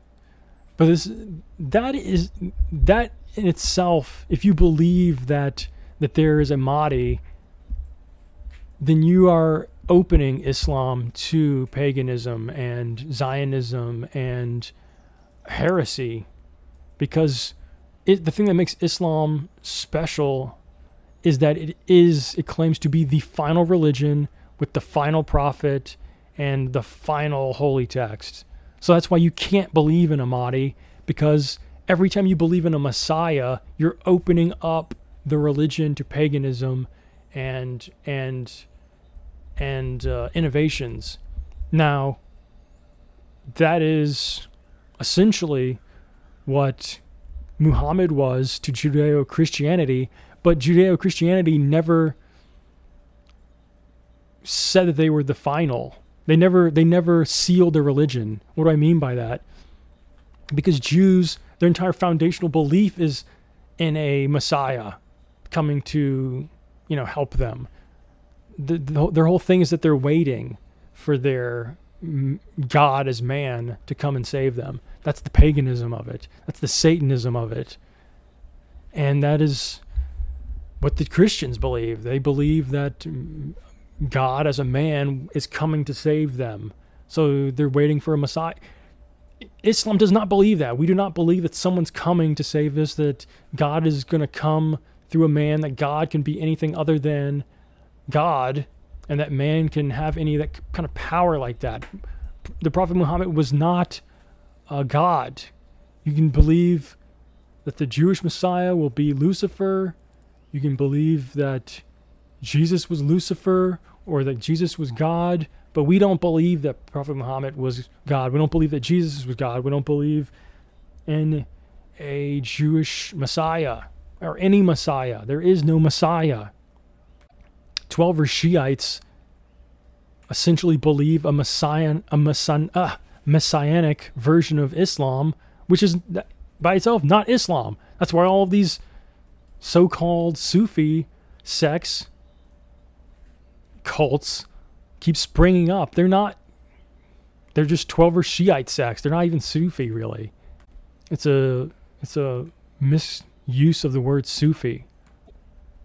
In summary, Sufi sects are not in themselves uh, heretical and or even um, messianic. Believing in a Mahdi is what's wrong. Twelver Shiitism is wrong, just as wrong as the Sunnis are, in my opinion. You know, an Orthodox, an Orthodox Shiite should not be a Twelver or believe in a Mahdi. And an Orthodox, an Orthodox Muslim, if you even if you don't identify as a uh, Shiite, is you, you should especially not believe in a Mahdi. Why can't Muslims believe in a Messiah? Because believing in a Messiah, like Jews and Christians, leads to more holy books and prophets, false prophets, that is. Example, Jews essentially created Christ. They and that is um, a good thing just because you know eventually it led to more and more clarity. Each all of these religions like i've said satanism is the oldest religion the oldest pagan religion. All we've done because islam is the correct application the first correct and perfect it's, it's the only time we've gotten it right religion right. So everything that's come before has been pagan and satanic. It's just been less and less. Like Judaism, almost there. Christianity, oh, so close. And then finally, Islam. But Ju- Judaism and Christianity they are satanic, they are pagan. And you know, Christ was the promised son of Israel, but not the Messiah. You know, here, this is where Jews and Muslims agree, you know, that Jesus was not the Messiah. But if Muslims don't believe in more um, prophets to come, like Jews and Christians, we can't be open to a Mahdi or um, or a returning Jesus or allow a Dajjal to welcome either a Mahdi or Jesus. You know, this is a Zionist trick by the Satanists to um, tempt Muslims away from their uh, religion to see who actually knows their religion. Because most of them are just following paganism. Like I said, when Saudi government, their ideology and everything is just pure paganism. They let everyone practice satanic pagan religions like Christmas and uh, Halloween they have all seeing eyes and triple sixes everywhere, pyramid worship. You know, Jesus claimed to be the Messiah of the Jews, or at least, you know, not so much Messiah is the wrong word. Jesus claimed to be the prophet, the next prophet or final prophet of the Jews. And Satan has convinced Jews that you know, he was not that king of Israel, uh, Lucifer, but the Antichrist, that the Antichrist would be their uh, Messiah. And that Satan is their God. That's what that's what they did. They con- Satanists convinced the Jews that that their Messiah would be the Antichrist, and that Satan is their God. That Yahweh is really God. Yahweh is really Satan, the god of these Romans who, of course, were uh, above and enslaving Jews and had slaves. It had the Jews finally become their uh, pawns. They convinced them that, you know, Satan's son is the Luciferian Messiah and that he's uh, the opponent of Christ. And so, if if they want to, they must do the opposite of Christians if they want to summon and please the Moshiach or Moloch, the pagan god that they served before, um, you know, that is one of the one of the pagan gods that the Hebrews served before uh, Moses, because Moses is a monotheist prophet, just like Jesus was. It's the Jews themselves that are pagan and fallen because they did not listen to Moses and didn't listen to Jesus, just like the Christians didn't truly listen to Jesus. They did not follow monotheism like Jesus preached because they've allowed their religion to become corrupted into paganism and the Trinity. In both groups, Jews and Christians have allowed this monotheistic God of their prophets to have, you know, the the the pagan god of Satan kind of um, linked to their monotheistic god. They're worshiping God and Satan at the same time, and you know this to be true because you know one Jew Christians believe that Satan is somehow equal to God. In fact, both Jews and Christians believe that Satan is equal to God and that there's some kind of well the Jews believe that Satan is equal to God and they're both kind of like twin gods. Christians believe that they are not working together but they're still competing. That God and the devil are competing and God will win. And it's us Muslims. We're the only ones who believe God has already won. That Satan is not even he's not an equal. He's just another. He rules. He doesn't even rule. He he doesn't rule the lower realms. He just is there. He he's there as a a tempter for God. He as like a false opposition. Jews and Christians are lost because they they they're monotheistic. They claim to be monotheistic, but their god is pagan. You know, Satan has always been their god because they've never been truly monotheistic. You know, Moses preached monotheism.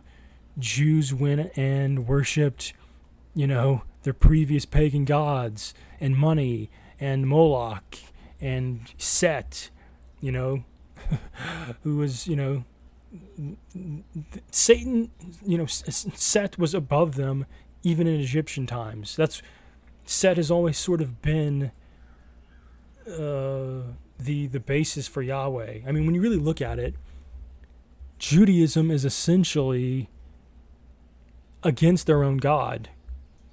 They don't know because Set was the god of their oppressors, and you know Lucifer, Anubis, he was the god that was I believe it's Anubis.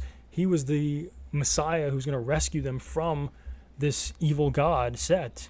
You know, essentially the devil is their god, and their Messiah is uh, this angel who's going to save them from this evil god. So if you're an Orthodox Jew, you believe that Satan is God and that the Messiah is going to save you from the your your satanic god. And that's exactly what Islam is. It is Allah, the one true God, using a man to teach the true interpretation of their own stories so they can be free from this satanic delusion and that you know this this this false god satan that they've been tricked into serving but it was so easy for satanists to get jews to revert to satanism once moses was gone. It was so easy for them to get christians to revert to satanism once christ was gone because by tricking them into worshiping Mashiach, Moloch, as much as Yahweh, their so called, you know, the God of Moses, and getting Christians to worship um, their Messiah, Jesus, as much as their mon- their as much as Jesus is God, uh, Jehovah, and it's because Yahweh and Jehovah they're both just incorrect interpretations and names for God. Allah. Allah is the name. Even though I've heard that in the the language that Jesus would have spoken, Yeshua ben Joseph, apparently Jesus' real name, the, the language he would have used, he would have used Allah as God. So I like to say Allah, like instead of Allah, just Allah really quickly because that's apparently the name Jesus would have called his God. You know, Yahweh or Jehovah. That's that's Satan playing Allah. Uh, Lucifer, Christ. That's Satan playing Allah. Something really interesting about the three Abrahamic religions. All three of them believe that Lucifer and Satan are the same. It's just how much do you ascribe God to one or both of those figures? Because in Satanism, Lucifer and Satan are the same. To Luciferians, they are different. Because the Satanists, of course, are above and fooling Luciferians, who are essentially just like New Agers, Freemasons, and when you really think about it, Jews. Jews are basically Luciferians and Christians. I'm not being anti Semitic, it's both of them. They're both Luciferian satanic religions. You know, Jews see Lucifer and Satan as dual gods. You know, Satan is Yahweh, Lucifer is Moloch, and Christians see them as a trinity. They see Satan is Jehovah, Lucifer is Jesus, and you know, Allah, God, is you, and that all three are the same, you know, Satan, Lucifer, and you, you're all God. You know, that's the trinity of it the, the Father, the Son, and the Holy Ghost. And we Muslims the you know I guess you know the final you know just just uh, because it's a uh, uh, it's it, chronologically we're you know more advanced. We, Muhammad came so much later. He could process all of the knowledge and and plot holes of you know Judeo Christianity and see how they were not that different from paganism and where they were limited. I'm sure he knew about Buddhism because I mean, here's a guy in the middle of uh, uh, was it Mecca? I believe it's Mecca. So he was he was like a, he was like a middle class guy, merchant, in all these markets. This is this there was a this is where all the different peoples cross paths. All these different religions cross paths, and all these different peoples brought all their customs and traded and would visit the Kaaba. Um, so he was well versed in all these religions and studying them and deciphering and trying to figure out his own spirituality. And it blew his mind because he learned, just like all the prophets before him, he, he was understanding a spiritual truth when no one else did. And that's why it gave him all these crazy, you know, outer body experiences and extrasensory perception because you're you're attaining a psycho a psychic connection to the divine truth of the universe in a in a dark lower vibrational time where just about everyone is believing nonsense and tons of people are committing sacrifices and all this insanity so to to attain that high vibrational uh yeah that high vibration would be shattering. It would be like a, it would be like a, a, a, it would be like a shock to your system and also a shock to the the physical plane around you. I, I don't know how much recorded just then. I the app messed up again. I didn't press the right button. Uh, but you know, I'm going to reiterate: Jews believe in a dual God, Satan and Lucifer. Christians see a trinity. You know, Jehovah, or sorry, Satan, Lucifer, and you as you're all three God. We Muslims see one God. There's nothing outside of Allah that is on Allah's level. Satan isn't God, Lucifer isn't God. They're the same thing. They're both a, it's both a trick, a fantasy, you know. Neither one is God, and they're both the deceiver. you know, Jesus isn't God, Muhammad isn't God, neither should be worshipped in the same breath as God.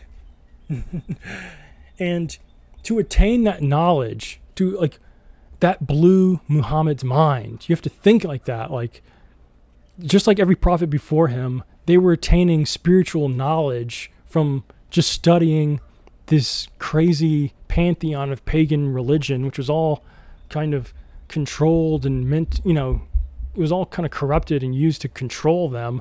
To decipher that would would give you high vibration. It would be a, it would it would be such a high vibrational experience that it would shift the the physical plane around you because you're living in a world that's all about you know low vibrational energy and murder and sacrifice and deception and control.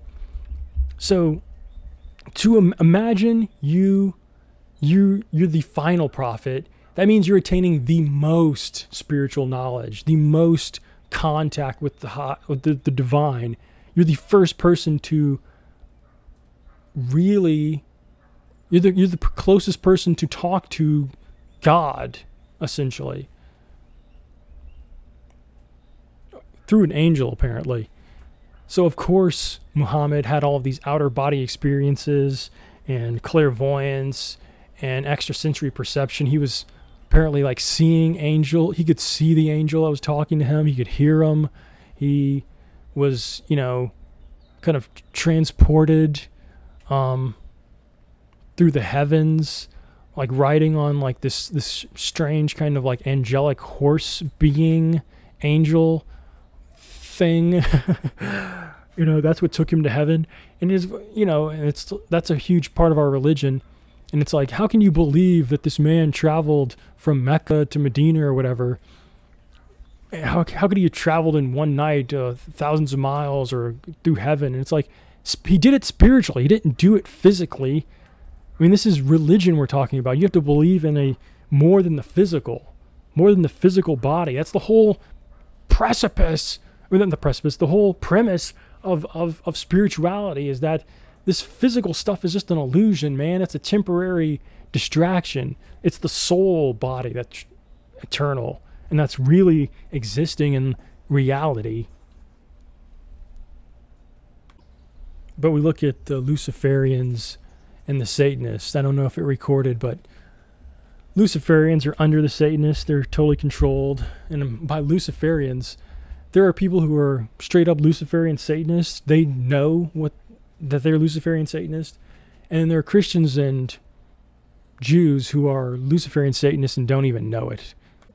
But the Luciferians, they also believe that Lucifer and Satan are one, and they think that, you know, Lucifer is, uh, you know, Lucifer and Satan are, are equal. True Satanists, the people who the you know the oldest the old time religion as they say they don't believe that you know anyone they believe in God and Satan. They know what's up. They know Satan is Lucifer, just like we Muslims know. Satan and Lucifer are the same. Lucifer fell and became Satan. What they believe is that God is God and God is in control, but Satan will overthrow God because they project their own wicked human desires onto Satan.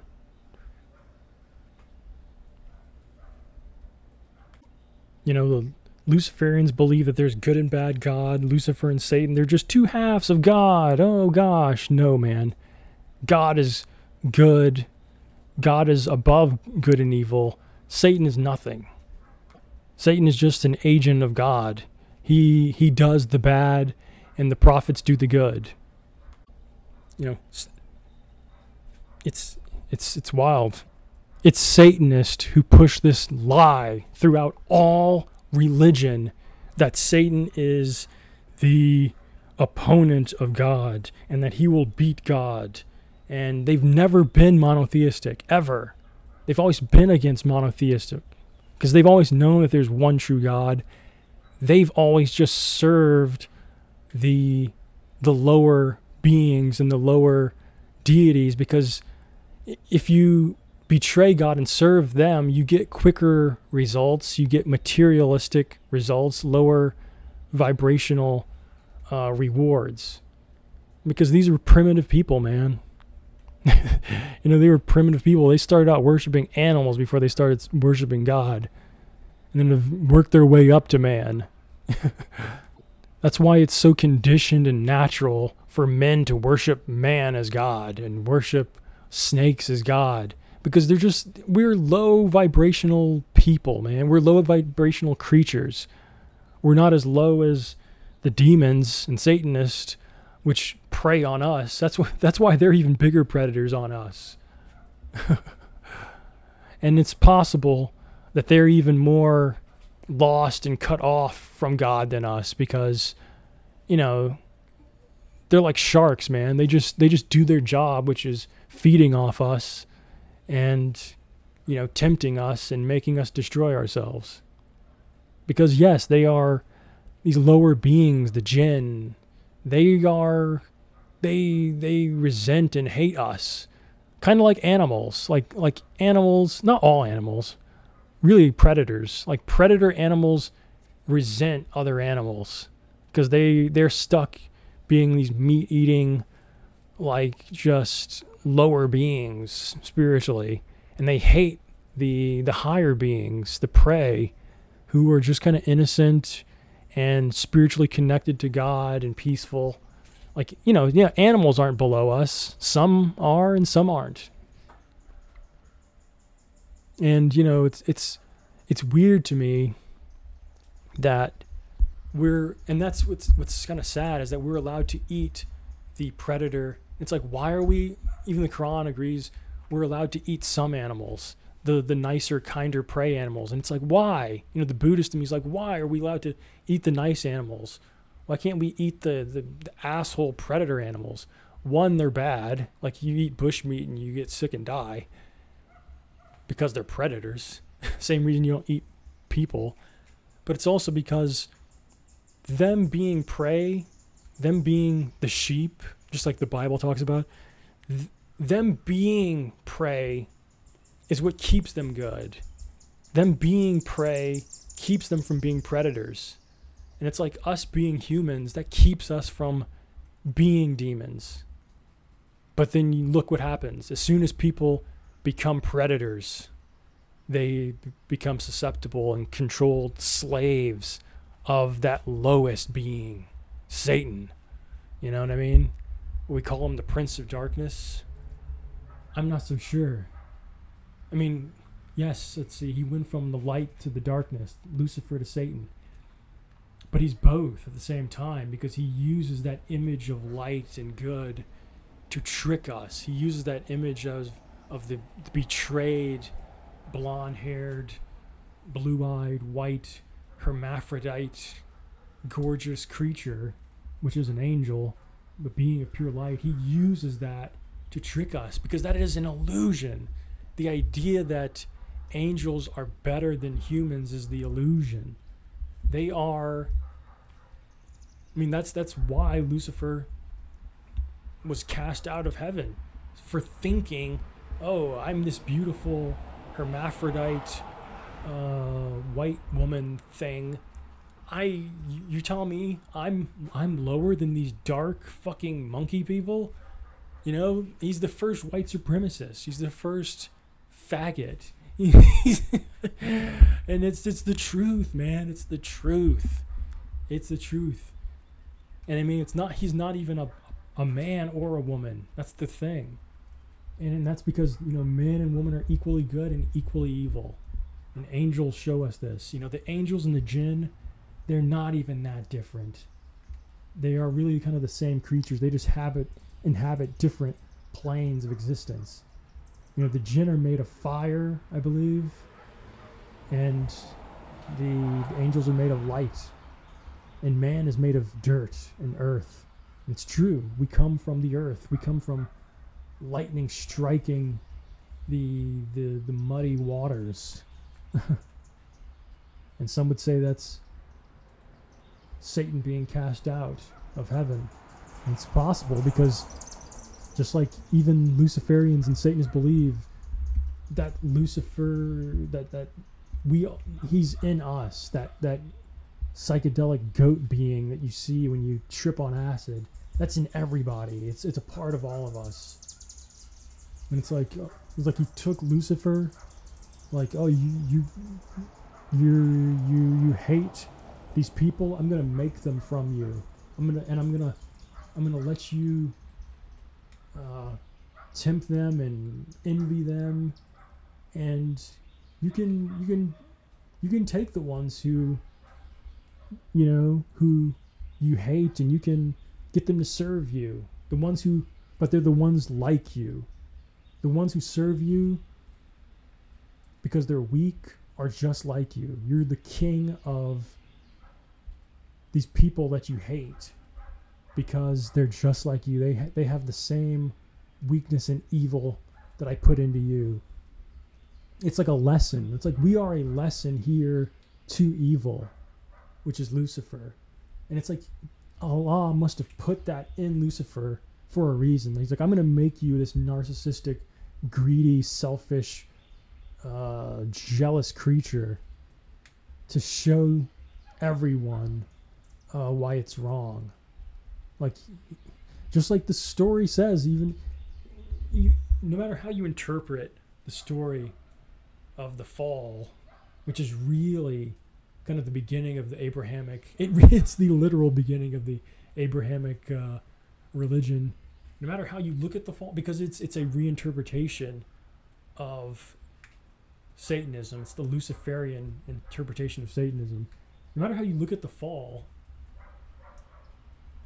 he Lucifer, Satan, is this spoiled brat, just like Cain, and you know from who- killed his brother.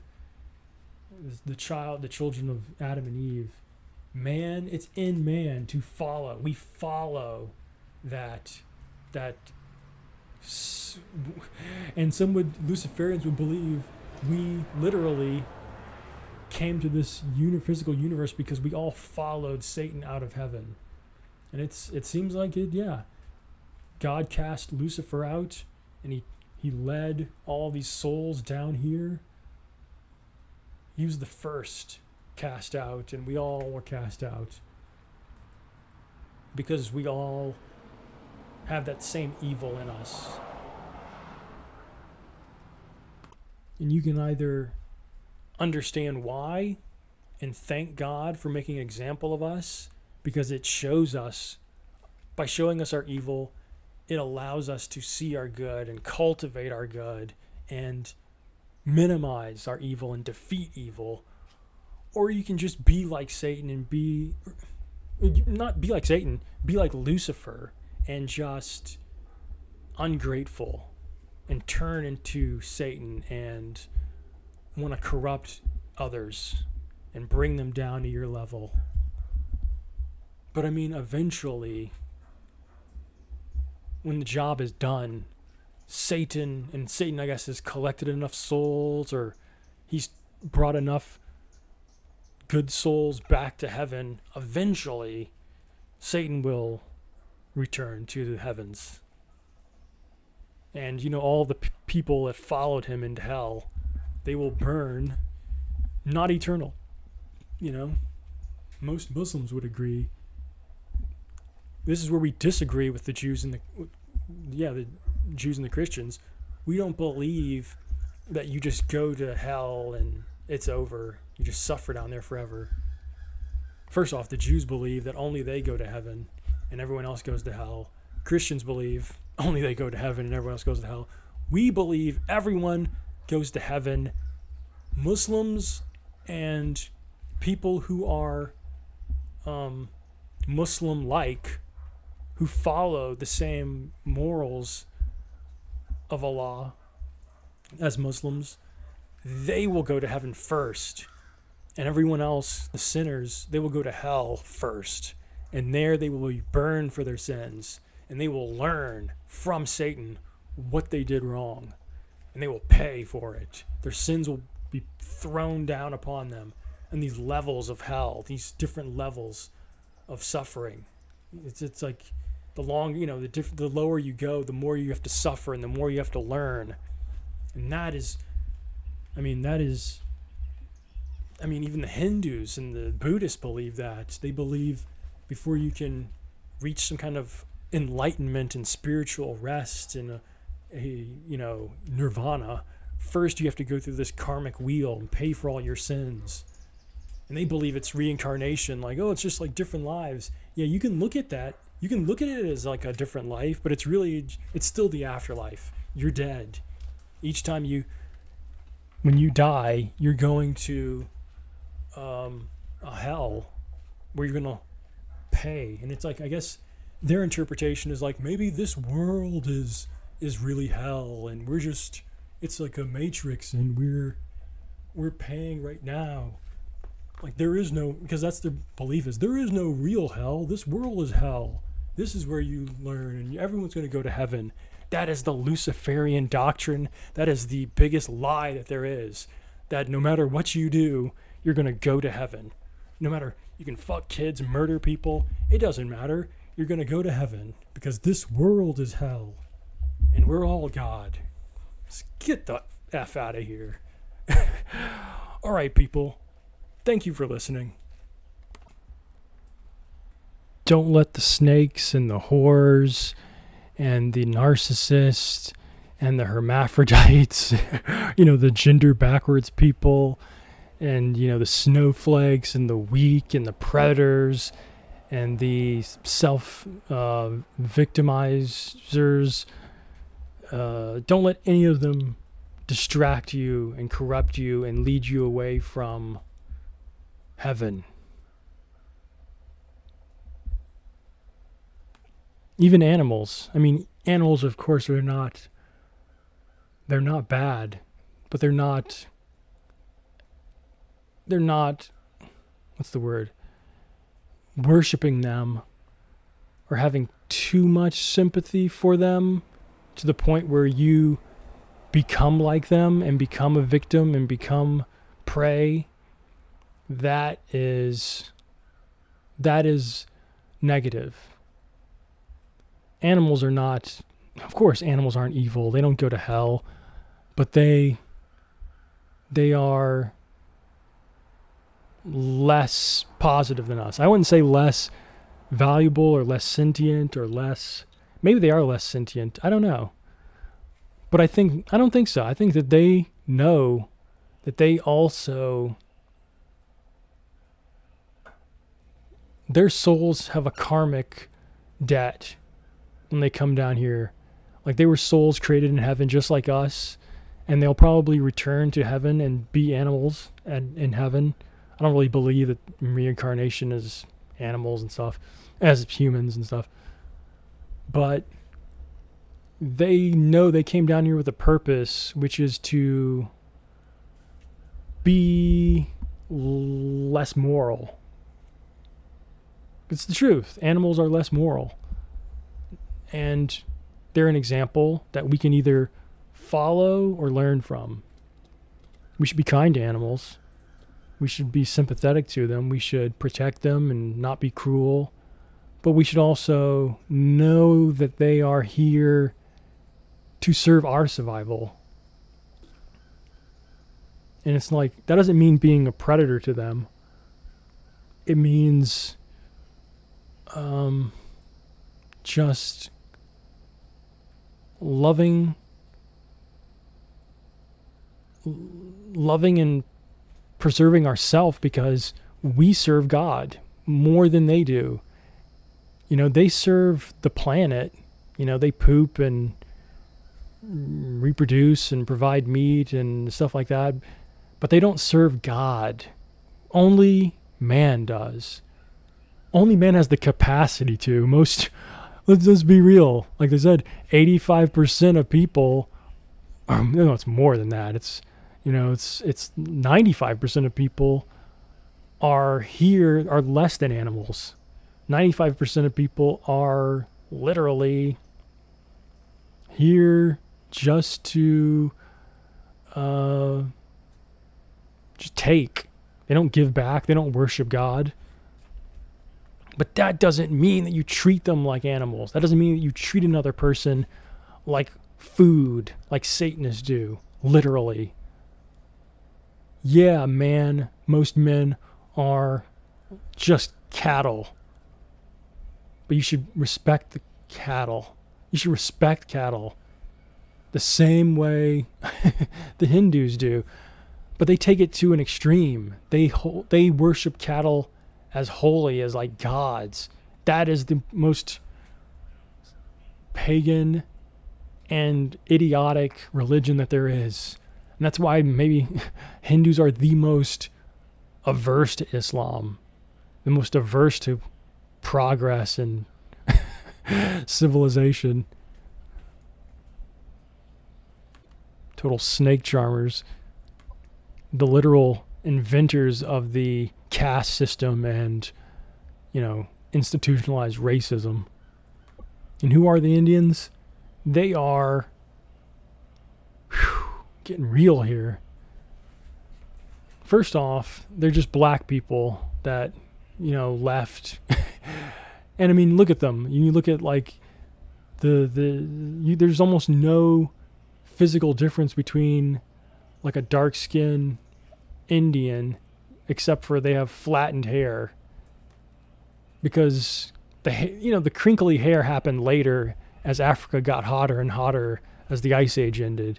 They uh, original black man looked like Indians, you know, dark skinned Indians, but they mated with the Neanderthals, these godless, you know, pagan people who didn't believe in monogamy or anything. They were just bloodthirsty cave beings. pale skinned cave beings from snowier parts of the world. Or not even snowier, just jungle parts. The, Europe was like a jungle. Uh, it was totally dark and rainy. And so they, you know, got zero light. You know, these Neanderthals mixed with Homo sapiens, and that is how we got, uh, you know, the modern human. And there's no better example than the Indians. It's it's all right there. It's all right there. Their culture shows just the schism between light and dark, and right and wrong, and uh, hate and love. And it's you know, it's kind of you can see it everywhere. They were just sort of like the first because they would be the first ones to leave Africa and meet the damn Neanderthals.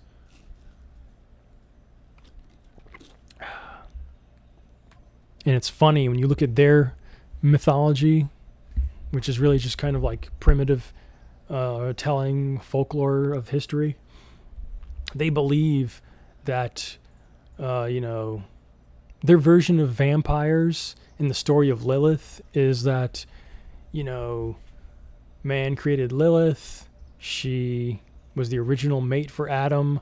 She was evil and she left and had sex with Satan and birthed all of these like dark skinned vampire people.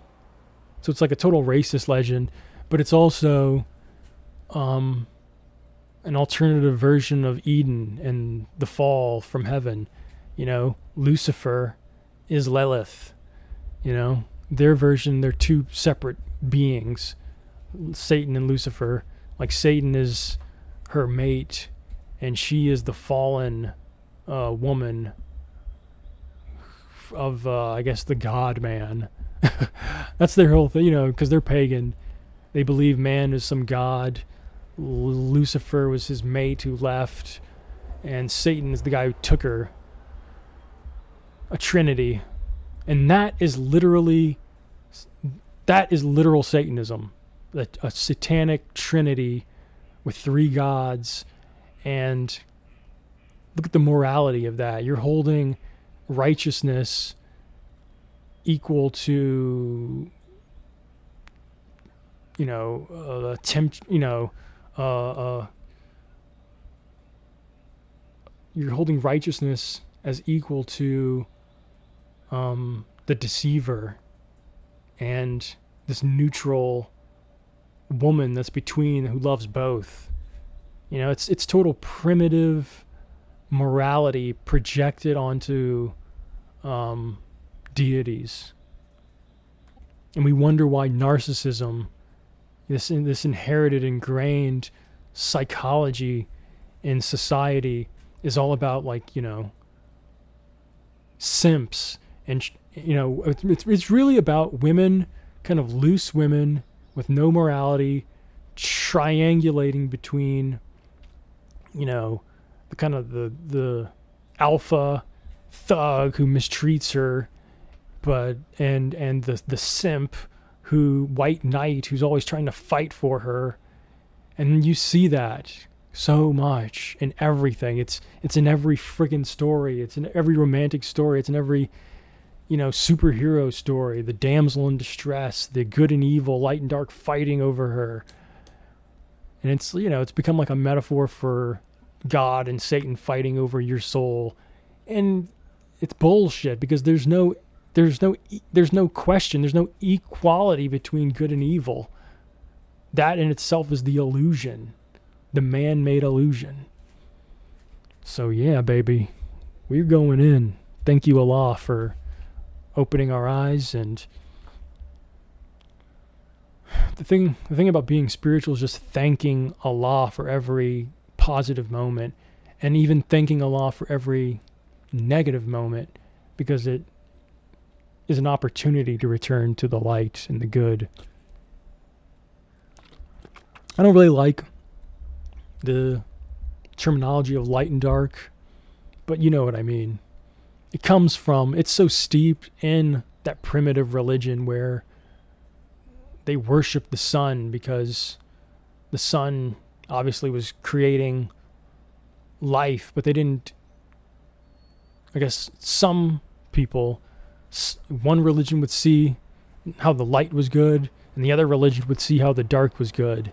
They're both good and bad. There's darkness, there's evil to light, and there's there's good to evil. And there's yeah, there's there's there's darkness to light, and there's lightness to dark, and there's good to evil, and there's evil to good. And you can't be an extremist. It's all it's all good, and I don't mean it in the satanic do what thou will. You know, there's no real morality. I mean, it's all Allah's. It's Allah has perm. This is where the occultists misinterpret spiritual morality. Just because God created everything, just because God allows and permits everything, does not mean God wants you to do everything. It doesn't mean God is responsible for every bad thing that happens. God just knows everything that we're going to do because Allah is God. He's, of course, He knows He created us with the knowledge of everything that we're going to do, but we decided that. He created us, gave us free will, and He's just like, uh, you know, I'm a super genius. I see where it's going to end up. You think that you're going to overthrow me or that you replace me, but I'm God. I created you. You're never going to, you know, usurp me. And it's just like humanity has to let go of that delusion, that Luciferian delusion that we are greater than God. That just because we have souls, that it that they and just because we have eternal souls, that they can't be punished by the the creator of these souls. Because we all are just parts of that original creative energy. And everything is. It's not just us. We're not the only thing that matters. You know? The animals and the insects have just as much sentience and energy as a blade of grass or a rock or the air you know getting into like some native american type stuff the problem is Native Americans use that as some kind of pluralistic paganism, like everything is God. No, not everything is God. God created everything. You have a child, that child isn't you. You know, it's like maybe that's a bad example because it takes two to make a child. God, everything comes from one. But the thing is, we are not that one. We are derivatives of that one. And that's what you got to remember. Yes, there is only one. We need a one world government. We need a one world religion, but based on the Most High, the Creator, the original, the number one, the first of the first and the last of everything. So yeah.